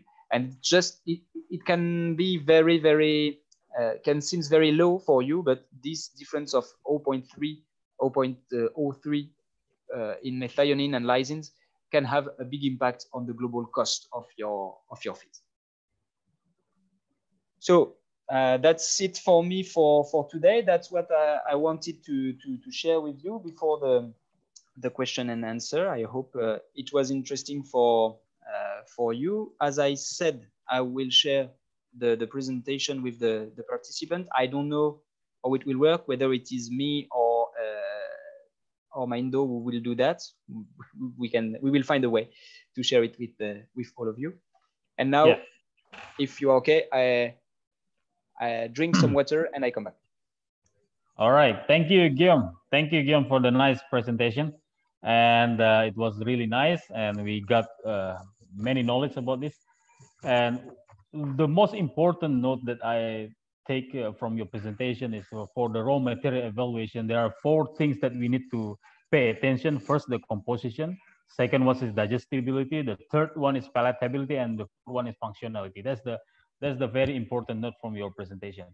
Okay, uh, untuk tidak memperpanjang uh, prolog, mungkin ada Bapak Ibu yang ingin menyampaikan pertanyaan kepada Guillaume Reste. Uh, silakan, mungkin bisa raise hand, uh, bisa menanyakan langsung dalam bahasa Inggris ke Guillaume, atau mungkin nanti bisa saya terjemahkan. Ya, silakan Pak. Halo. Halo. Halo, halo. Ya. Ya, silakan, Pak. Silakan. How do you want to proceed for the question? I uh, I go to the to the question no, and answer yeah, part and uh, yeah, read the. Uh, yeah. Uh, first, uh, let let the participants ask the question, and then the, I will pass the question to you. So you you you have to wait, Guillaume. Okay. Until okay. there's a there's a, some question that uh, I give it to you. So okay, just enjoy your water first, and then uh, I will ask the audience if you if you have a question, please raise your hand, and Guillaume will, will ask your your question, We answer your question. Because I saw that there are lots of questions already, and yeah, yeah, there's a lot of question in the in the chat room. So, but probably we, we give some opportunity for the oral question first. Perfect. Oke okay, Pak Sukarman mungkin tadi raise hand ya. Silakan Pak. Halo, halo Pak Romi. Ya, Pak Mungkin bisa dibantu dalam bahasa Indonesia. Ya. Oke, oke Pak, oke Pak. Uh, uh, I have uh, some question for Guillermo. Uh, the first question is uh, about the raw material. Yeah. Uh, what do you think about uh, the salt fish and uh, indigo indigofera leaf meal as the feed ingredient. How to use? Indigofera? Indigo, indigofera leaf meal, leaf meal.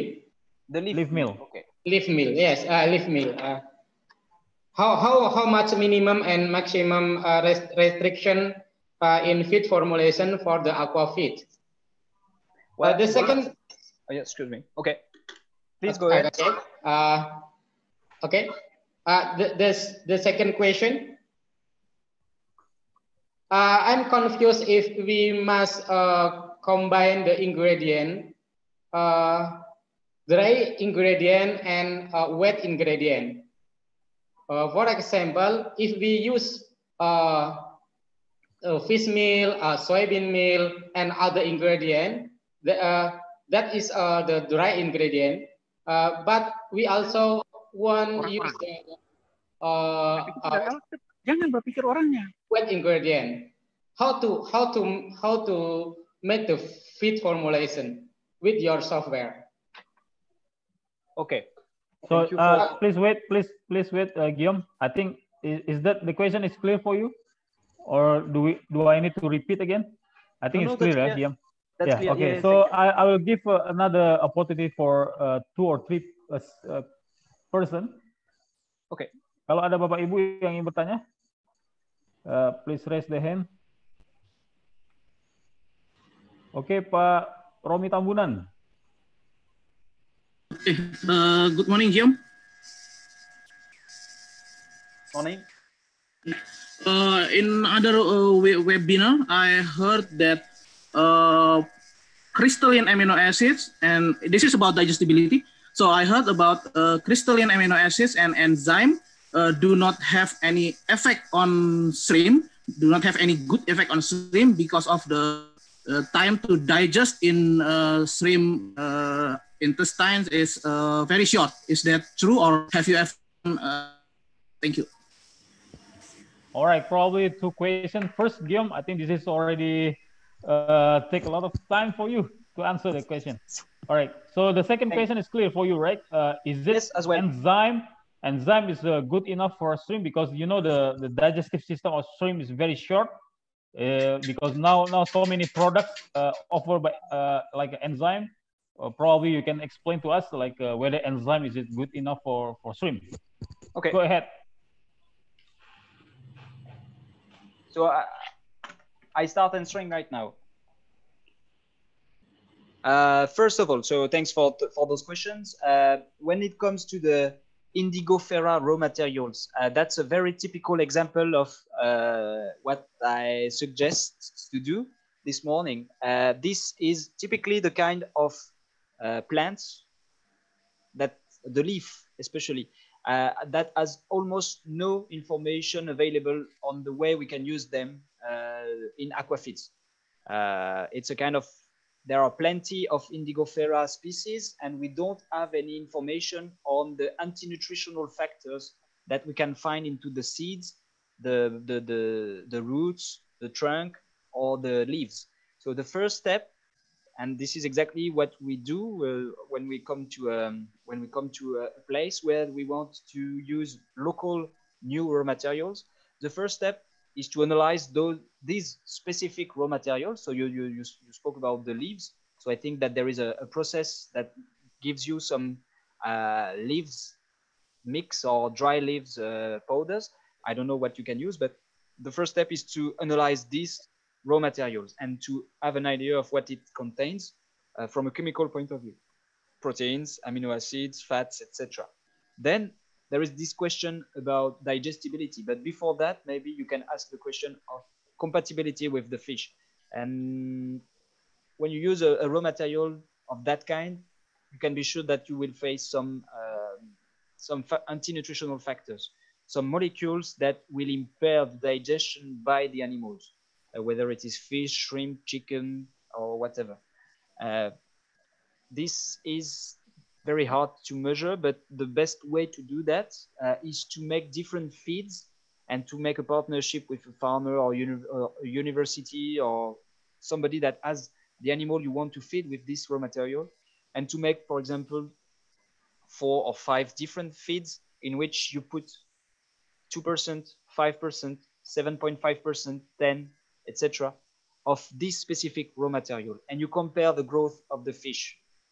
You, you, you, just make something very simple like that, and you see that if at 10% the fish are okay, they grow well, then you open them, you see the meat color, you, look, you have a look at the intestines. If there is no inflammation on the intestine, you can see some time blood droplets in the intestine of fish. It means that this raw material is uh, impairing the, the, the, the permeability of the intestine uh, you can see different colors in the livers of the fish. So it's indications that this raw material is not well adapted to the, to the animal.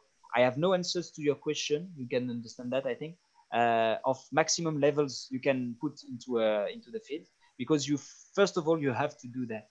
And, um, and Indigofera is typically the kind of plant in which you can find some active secondary metabolites that acts as anti-nutrients in, um, in digestive tracts. But uh, what I can say is most of the time in aquaculture, leaves are not welcome because they are full of fibers. So um, uh, if you can uh, get access to the leaves of this, uh, this plant, uh, to the seeds, I mean, of this plant, it's probably a better way to start. So seeds are full of anti-nutritional factors, but they are also full in fat and uh, proteins most of the time. So it's better to use the seeds than to use the leaves in most of the cases. But I don't know specifically which kind of uh, indigofera you are working with. And like that, I've not, um, I have no information about the this specific raw material. that was the first question. Uh, the second one was about dry and wet raw material, how to mix them. Uh, I mean, I, I, think it's dry powders uh, or grain and wet products from that come directly from the from the fields or from the from a, a manufacturing plants. Uh, that's a bit tricky, but the, the answer is very dependent on the type of uh, process you will apply.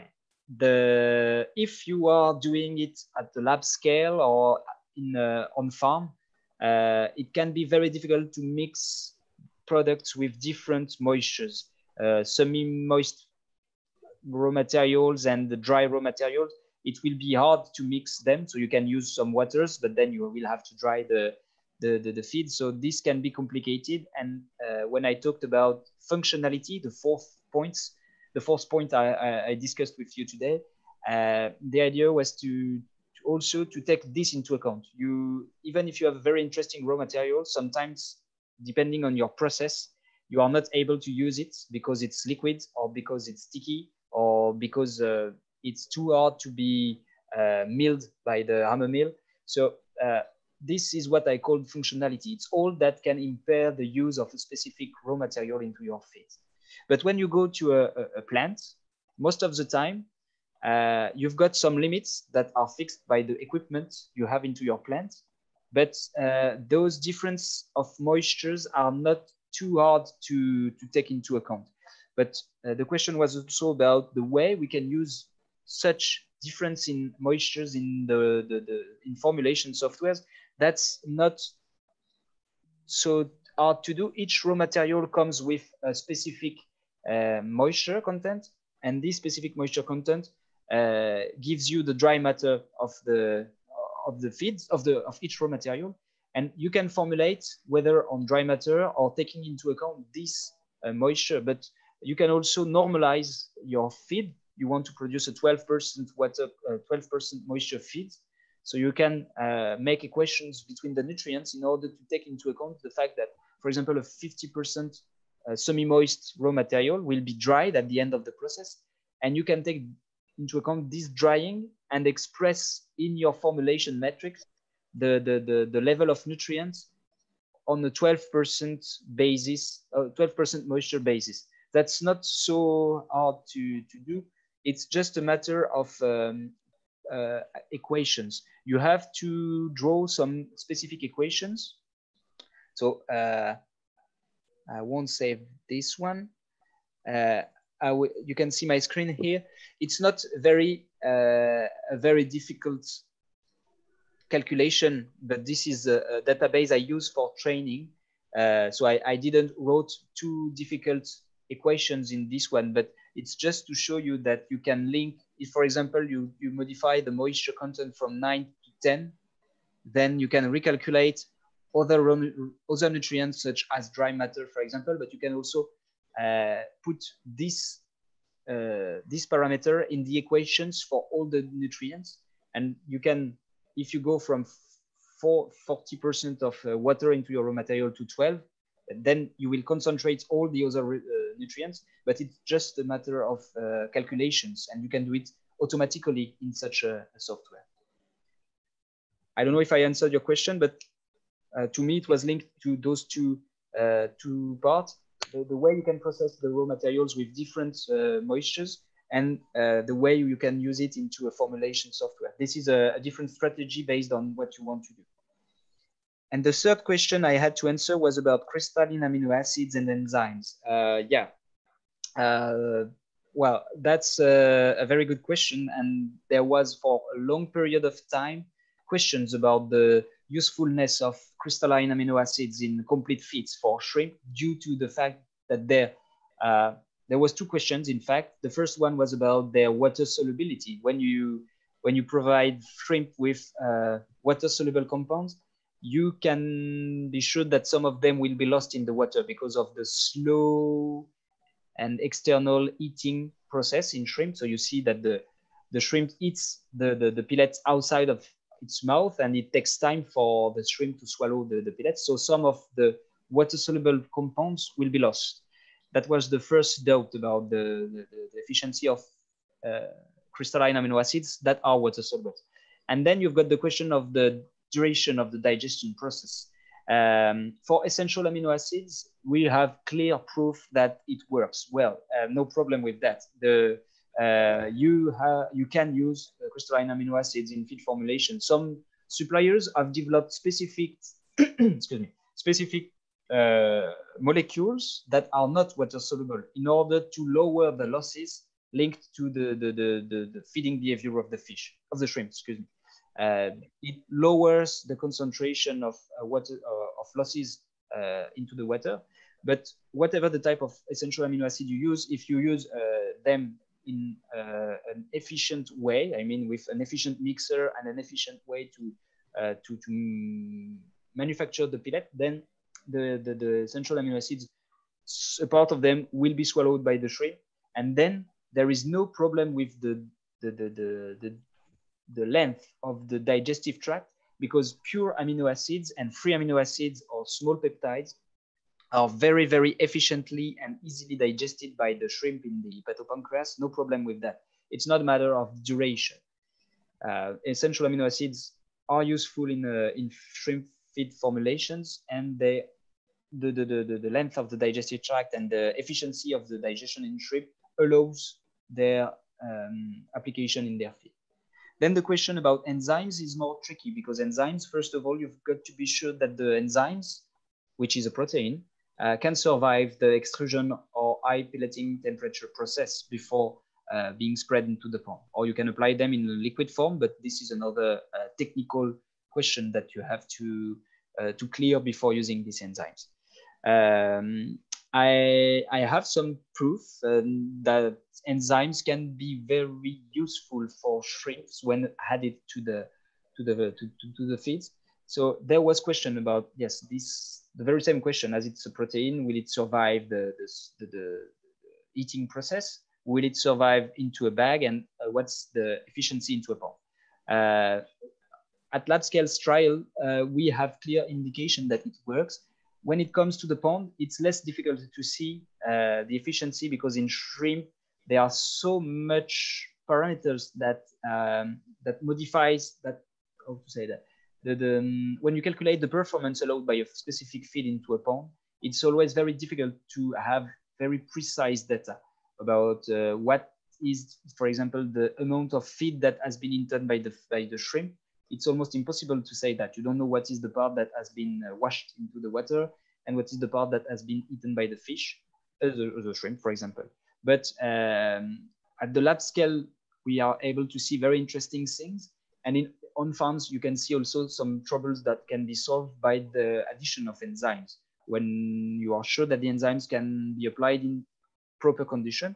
And then once again, the duration of the digestive tract in this case is not a big issue because the, the shrimp uh, itself produces enzymes in the digestive tract, and those enzymes are quite efficient even when the digestive process takes a, uh, uh, a small duration. I, sorry for, for, that, I don't find my word, but uh, the, the, the, proper shrimp enzymes are quite efficient uh, to digest the shrimp. We've got digestibility coefficient for protein or fat as high as 80, 90%. So it means that it works quite well in this small and uh, uh, invertebrate. But the addition of exogenous enzymes can be a, can be a good tool. And the length of the digestive tract and the duration of the digestion is not a big issue for me and you can use them. But the very first question to ask is uh, is it okay to add them uh, and at which part of the process and will they be still uh, would they still be functional once they reach the pond that's the, the, the way I will uh, uh, I will answer to your to your question about uh, enzymes and. Thank you. Thank you, Yeah. I think we get we got the point about the enzyme in, in swim. So ada masih ada Bapak Ibu yang ingin bertanya, mungkin raise hand. Kalau tidak, ini ada beberapa pertanyaan di group chat. Guillaume, there's a yeah. couple question in the group chat. I think you you can also see it. it there is uh, one question from Philippines uh, about the what specific diet for larvae to fish fry to fingerlings in order to achieve the high survival. And then there's come the second question: Is there any enzymes to add for larva diet uh, of fish? This is uh, for for the for the hatchery phase. And the third question: How we control the feed additive in feed formulation to achieve high digestibility?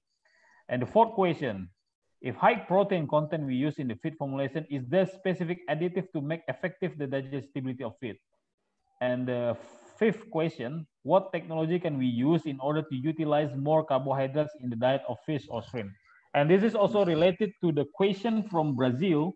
There's a one question from Brazil about the use of phytase. Uh, you know, during the from during the extrusion process, during the pelleting process, uh, which one you, you think is better? What is the mechanism? What is the uh, proper uh, mechanism to use phytase in the diet formulation in order to more effectively use the carbohydrate in the in the diet in the diet for fish and shrimp? I think there's a two cases in the Zoom group chat that I can give it to you now. I pass to you for to answer the question, Guillaume. Thank you. Okay, uh, I've got the the first one, but I don't have the one from Brazil with the phytase. But there, um, there is uh yeah there is uh one, on the top uh is uh Okay. yeah there's uh, I will- I will already start- over overlapping here. okay. Yeah. Uh, uh, so the first question: What specific diet for larvae to fish fry fingerling in order to achieve high survival? Okay. Uh, well, there is a question about feed formulation, enzymes to add, uh, how we can control the feed additives in feed formulation to achieve high digestibility. Okay.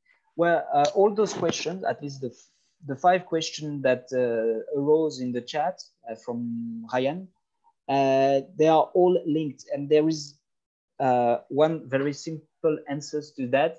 It depends. It depends on the type of feeds you use. It depends on the type of raw material you use. But to go a little bit deeper into details, um, when we talk about very small animals, uh, very young fish, very young larvae, very young crustaceans, the idea is to provide them with uh, feeds that is very easy to digest. So in this case, the use of uh, raw material that could be expensive it seems to be a good option. If we use raw material uh, quite expensive because of their high quality, I mean low temperature fish meal, uh, squid meals, uh, highly transformed raw materials from plants, for example, uh, to me, it seems a good investment because you will ensure a good survival because you will have a good nutrition of the animals. Uh, you make feeds with high level of good raw material, uh, with a good equilibrium in, uh, in amino acids, with uh, also a good premix. I didn't talk about premix for vitamins, minerals, and other additives, but this is a key issue when it comes to aquafeed and especially when you feed young animals. As you know that the level, the quantity of feed that will be eaten with very young, small animals like that, to me, it was the case investing in high quality raw materials. Uh, I have no magic uh, formulation to do. It depends on the raw material you find on your market. It also depends on the type of animals you want to feed with these feeds. But that's the that's the the concept, the idea. Uh, that I go back to the slide in which uh, I compare the feed for young animals, uh, broodstock, etc. Uh, the the um, the interesting things with this slide, I think, uh, is to to keep in mind that not all the um, all the different stages won't eat the same amount of feed. So if you are doing weaning diets or larval diets on those two steps, you won't the, the, the animal won't eat big amounts of feeds. So uh, it's a very good option for me to invest in very high quality raw materials. Uh, I mean, highly digestible, almost already hydrolyzed for the proteins and uh, rich in, in long chain polyunsaturated fat. That's the, uh, a good way to, to do that. Then the question was about how to apply enzymes on, the, on those diets. Uh, well, I, I come to the previous questions with enzymes and the, the, the idea is uh, when and how will you apply those enzymes because they are quite fragile and uh, it's most of the time enzymes are very expensive uh, and you have to be sure that you use them the proper way. They can offer you very good payback if you use them properly. And it can be especially useful to add enzymes in very young animals like that because we know that uh, fish or shrimp have some uh, immat- have immature digestive systems when they are uh, quite young. And providing them with exogenous enzymes such as phytase, if you feed them with uh, plant protein, uh, or proteases or lipases or, or, carbohydrates will help the, the, the, animal to digest, to better digest the feed. So it will uh, provide him complementary enzymes to the one that his own digestive tract is producing. But to do that, once again, but it's the same that it's for fry, uh, growing, fattening feed or, or broodstock, you have to be sure that the, the, the application of the enzyme is compatible with the, uh, its uh, activity because enzymes are very, very fragile and uh, need some specific conditions of pressure, temperature, and uh, moisture to, to be efficient. Um, the fourth question, how we can control the feed additives in feed formulation to achieve high digestibility. I think it's the same. Uh, it depends on the type of uh, uh, premix you use, the way you put these specific additives into your feed. If you put them before the, the extrusion process, then you have to be sure that you will find them after. Uh, because cooking high temperature, high pressure will destroy some active component, that's for sure. So if you put them in the mixer with the raw material before the before the extrusion, or sometimes we find it before the, the, the hammer mill. So this is for sure the most uh, uh, destructive way to use a product. But you, you, you really have to think at which step of my process will I use, will I put those uh, additives into my feed. Uh, of course, if you put them before mixing, you you are sure that the um, even very low dosage feed additives will be very well mixed with other raw materials. But then if you extrude, if it goes to an extruder that will destroy the, the, the very well uh, mixed products, it's a nonsense. So that's my answer. Fourth, uh, there is uh, some noise, sorry. Uh, high protein we use in feed formulation.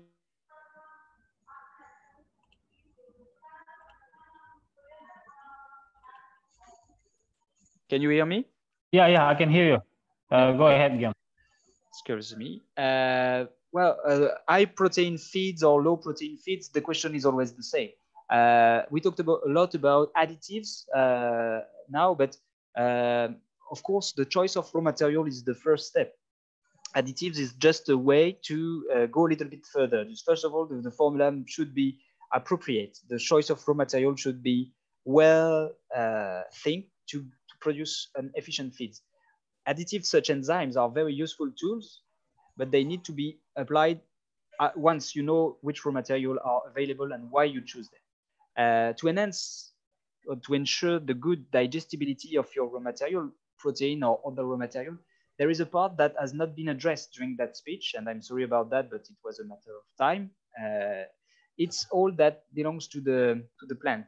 This step here uh, has a very big impact on the way the fish or the shrimp will use, digest your feed. The, um, the particle size you, you obtain after the hammer mill, the way you cook the, the, the, the, the, the mix raw material, the temperature, the preconditioner condition, the level of water you use during the preconditioning or during the extrusion, the temperature at which you dry the feed, all those, um, all those parameters will have a big impact on the final quality of your feed and above all on the digestibility. So the finer, the, the, the, the thinner the, the, the particle size, the better the digestibility, for example. So enzymes uh, and other additives are very useful tools. But first of all, uh, we have to keep in mind that the basics of feed mills are milling raw materials and mixing them and cooking them. That's the three, that the three very um, first step that you have to keep in mind. So you've got raw materials and the name tells what it is. And those raw materials has to be mixed. That's what, that's why you use those feed formulation softwares in order to have uh, the, the better mix possible with the available raw material. And once you got that, you have to go to the hammer mill to, to, to, to, to reduce those raw material into powder that is adapted to the, to the mouth of, uh, of the fish and to the, to the size of the pellet. And this is a critical part of the process. Then you have to ensure that the mixing is well done and that the cooking is well done and drying as well. So that's really, to me, that's the answers to, to, to care about the, uh, the basics of the, of the feed meal, raw material, right. formulation, cooking. Yeah. Thank you, Guillaume. Uh, probably you can you can relate it to the the use of phytase in the in the next question. Yes. I mean the, uh, uh, phytase. Can you read the question once again because I cannot find it? Oh, uh, the question is the whether phytase can be used during the extrusion process, or what is your suggestion after after the extrusion process? You you add the phytase yeah, or yeah. Okay. Something like that. Okay. Okay, okay. Uh, well, it, it, depends on the supplier, on the phytase supplier you, you work with. Some of them uh, offer protected phytase or protected enzymes that can survive the pelleting process, that's for sure, because pelleting feeds are steam pelleted process are the one applied to chicken and swine, so they, they develop specific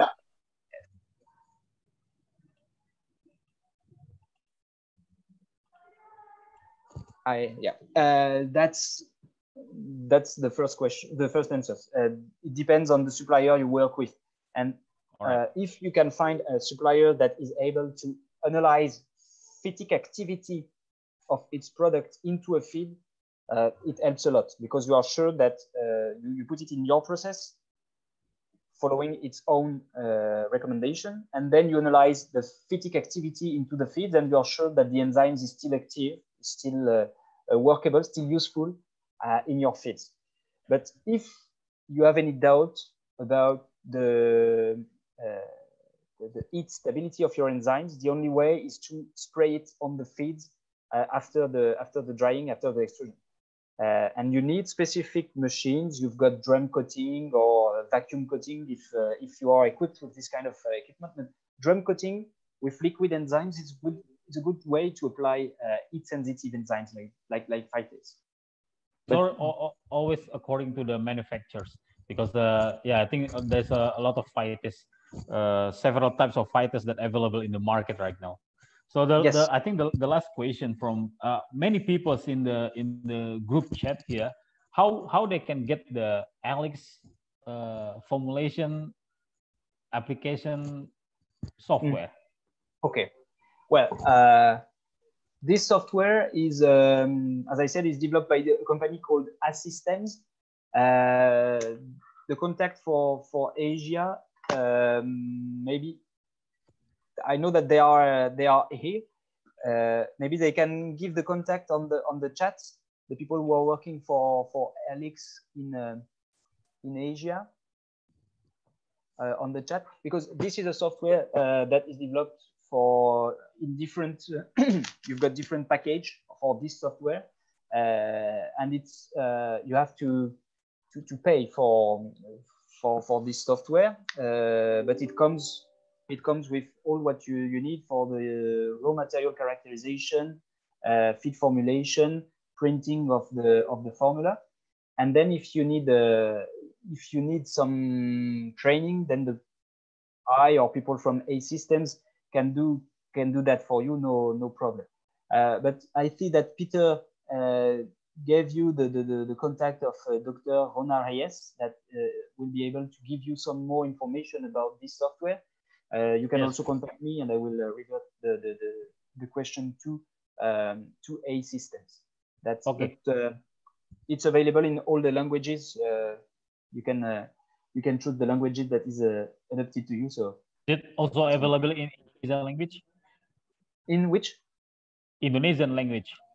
Yes, uh, sometimes right. uh, you you have to, to to to sometimes you have to translate the. Uh, All right. Some All right. name, but you can do it by yourself. But just for information, you can just, just that's just a joke, Guillaume. So yes, uh, ya, yeah. Bapak Ibu kalau ingin mendapatkan software yang tadi disampaikan oleh Guillaume, ini ada email address dari uh, Dr. Reyes. Mungkin bisa dicatat, ini ada uh, emailnya. Bapak Ibu bisa menghubungi Dr. Rona Reyes untuk mendapatkan software uh, baik secara free ataupun mungkin membeli softwarenya secara keseluruhan. Silakan Bapak Ibu menghubungi yang ada di grup uh, chat ini ada email uh, Rona Reyes. So I think uh, Guillaume, this is a very nice presentation and also a very nice training course that you offer to us to our society. This is uh, provide us with more knowledge on how to make a proper diet formulation using software. And also thank you for your insight about how to uh, use the raw material for the diet uh, for the aquafeed. Uh, we now we we more we we understand more we, uh, about the importance of the palatability, digestibility, and also the you know the functionality and the composition.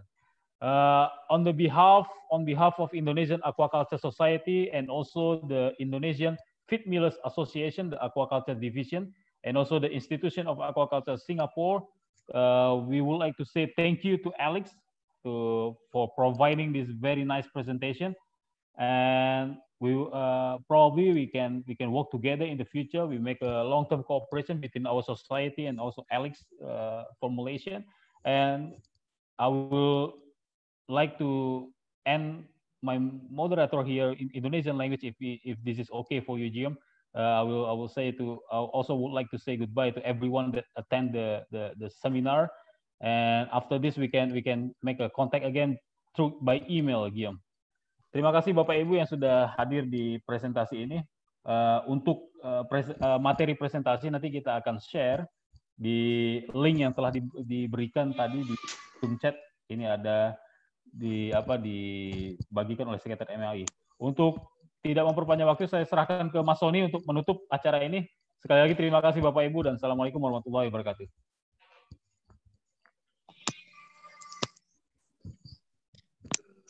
Ya, terima kasih Pak Romi atas uh, berkenan memandu Fostek yang ke-6 siang hari ini.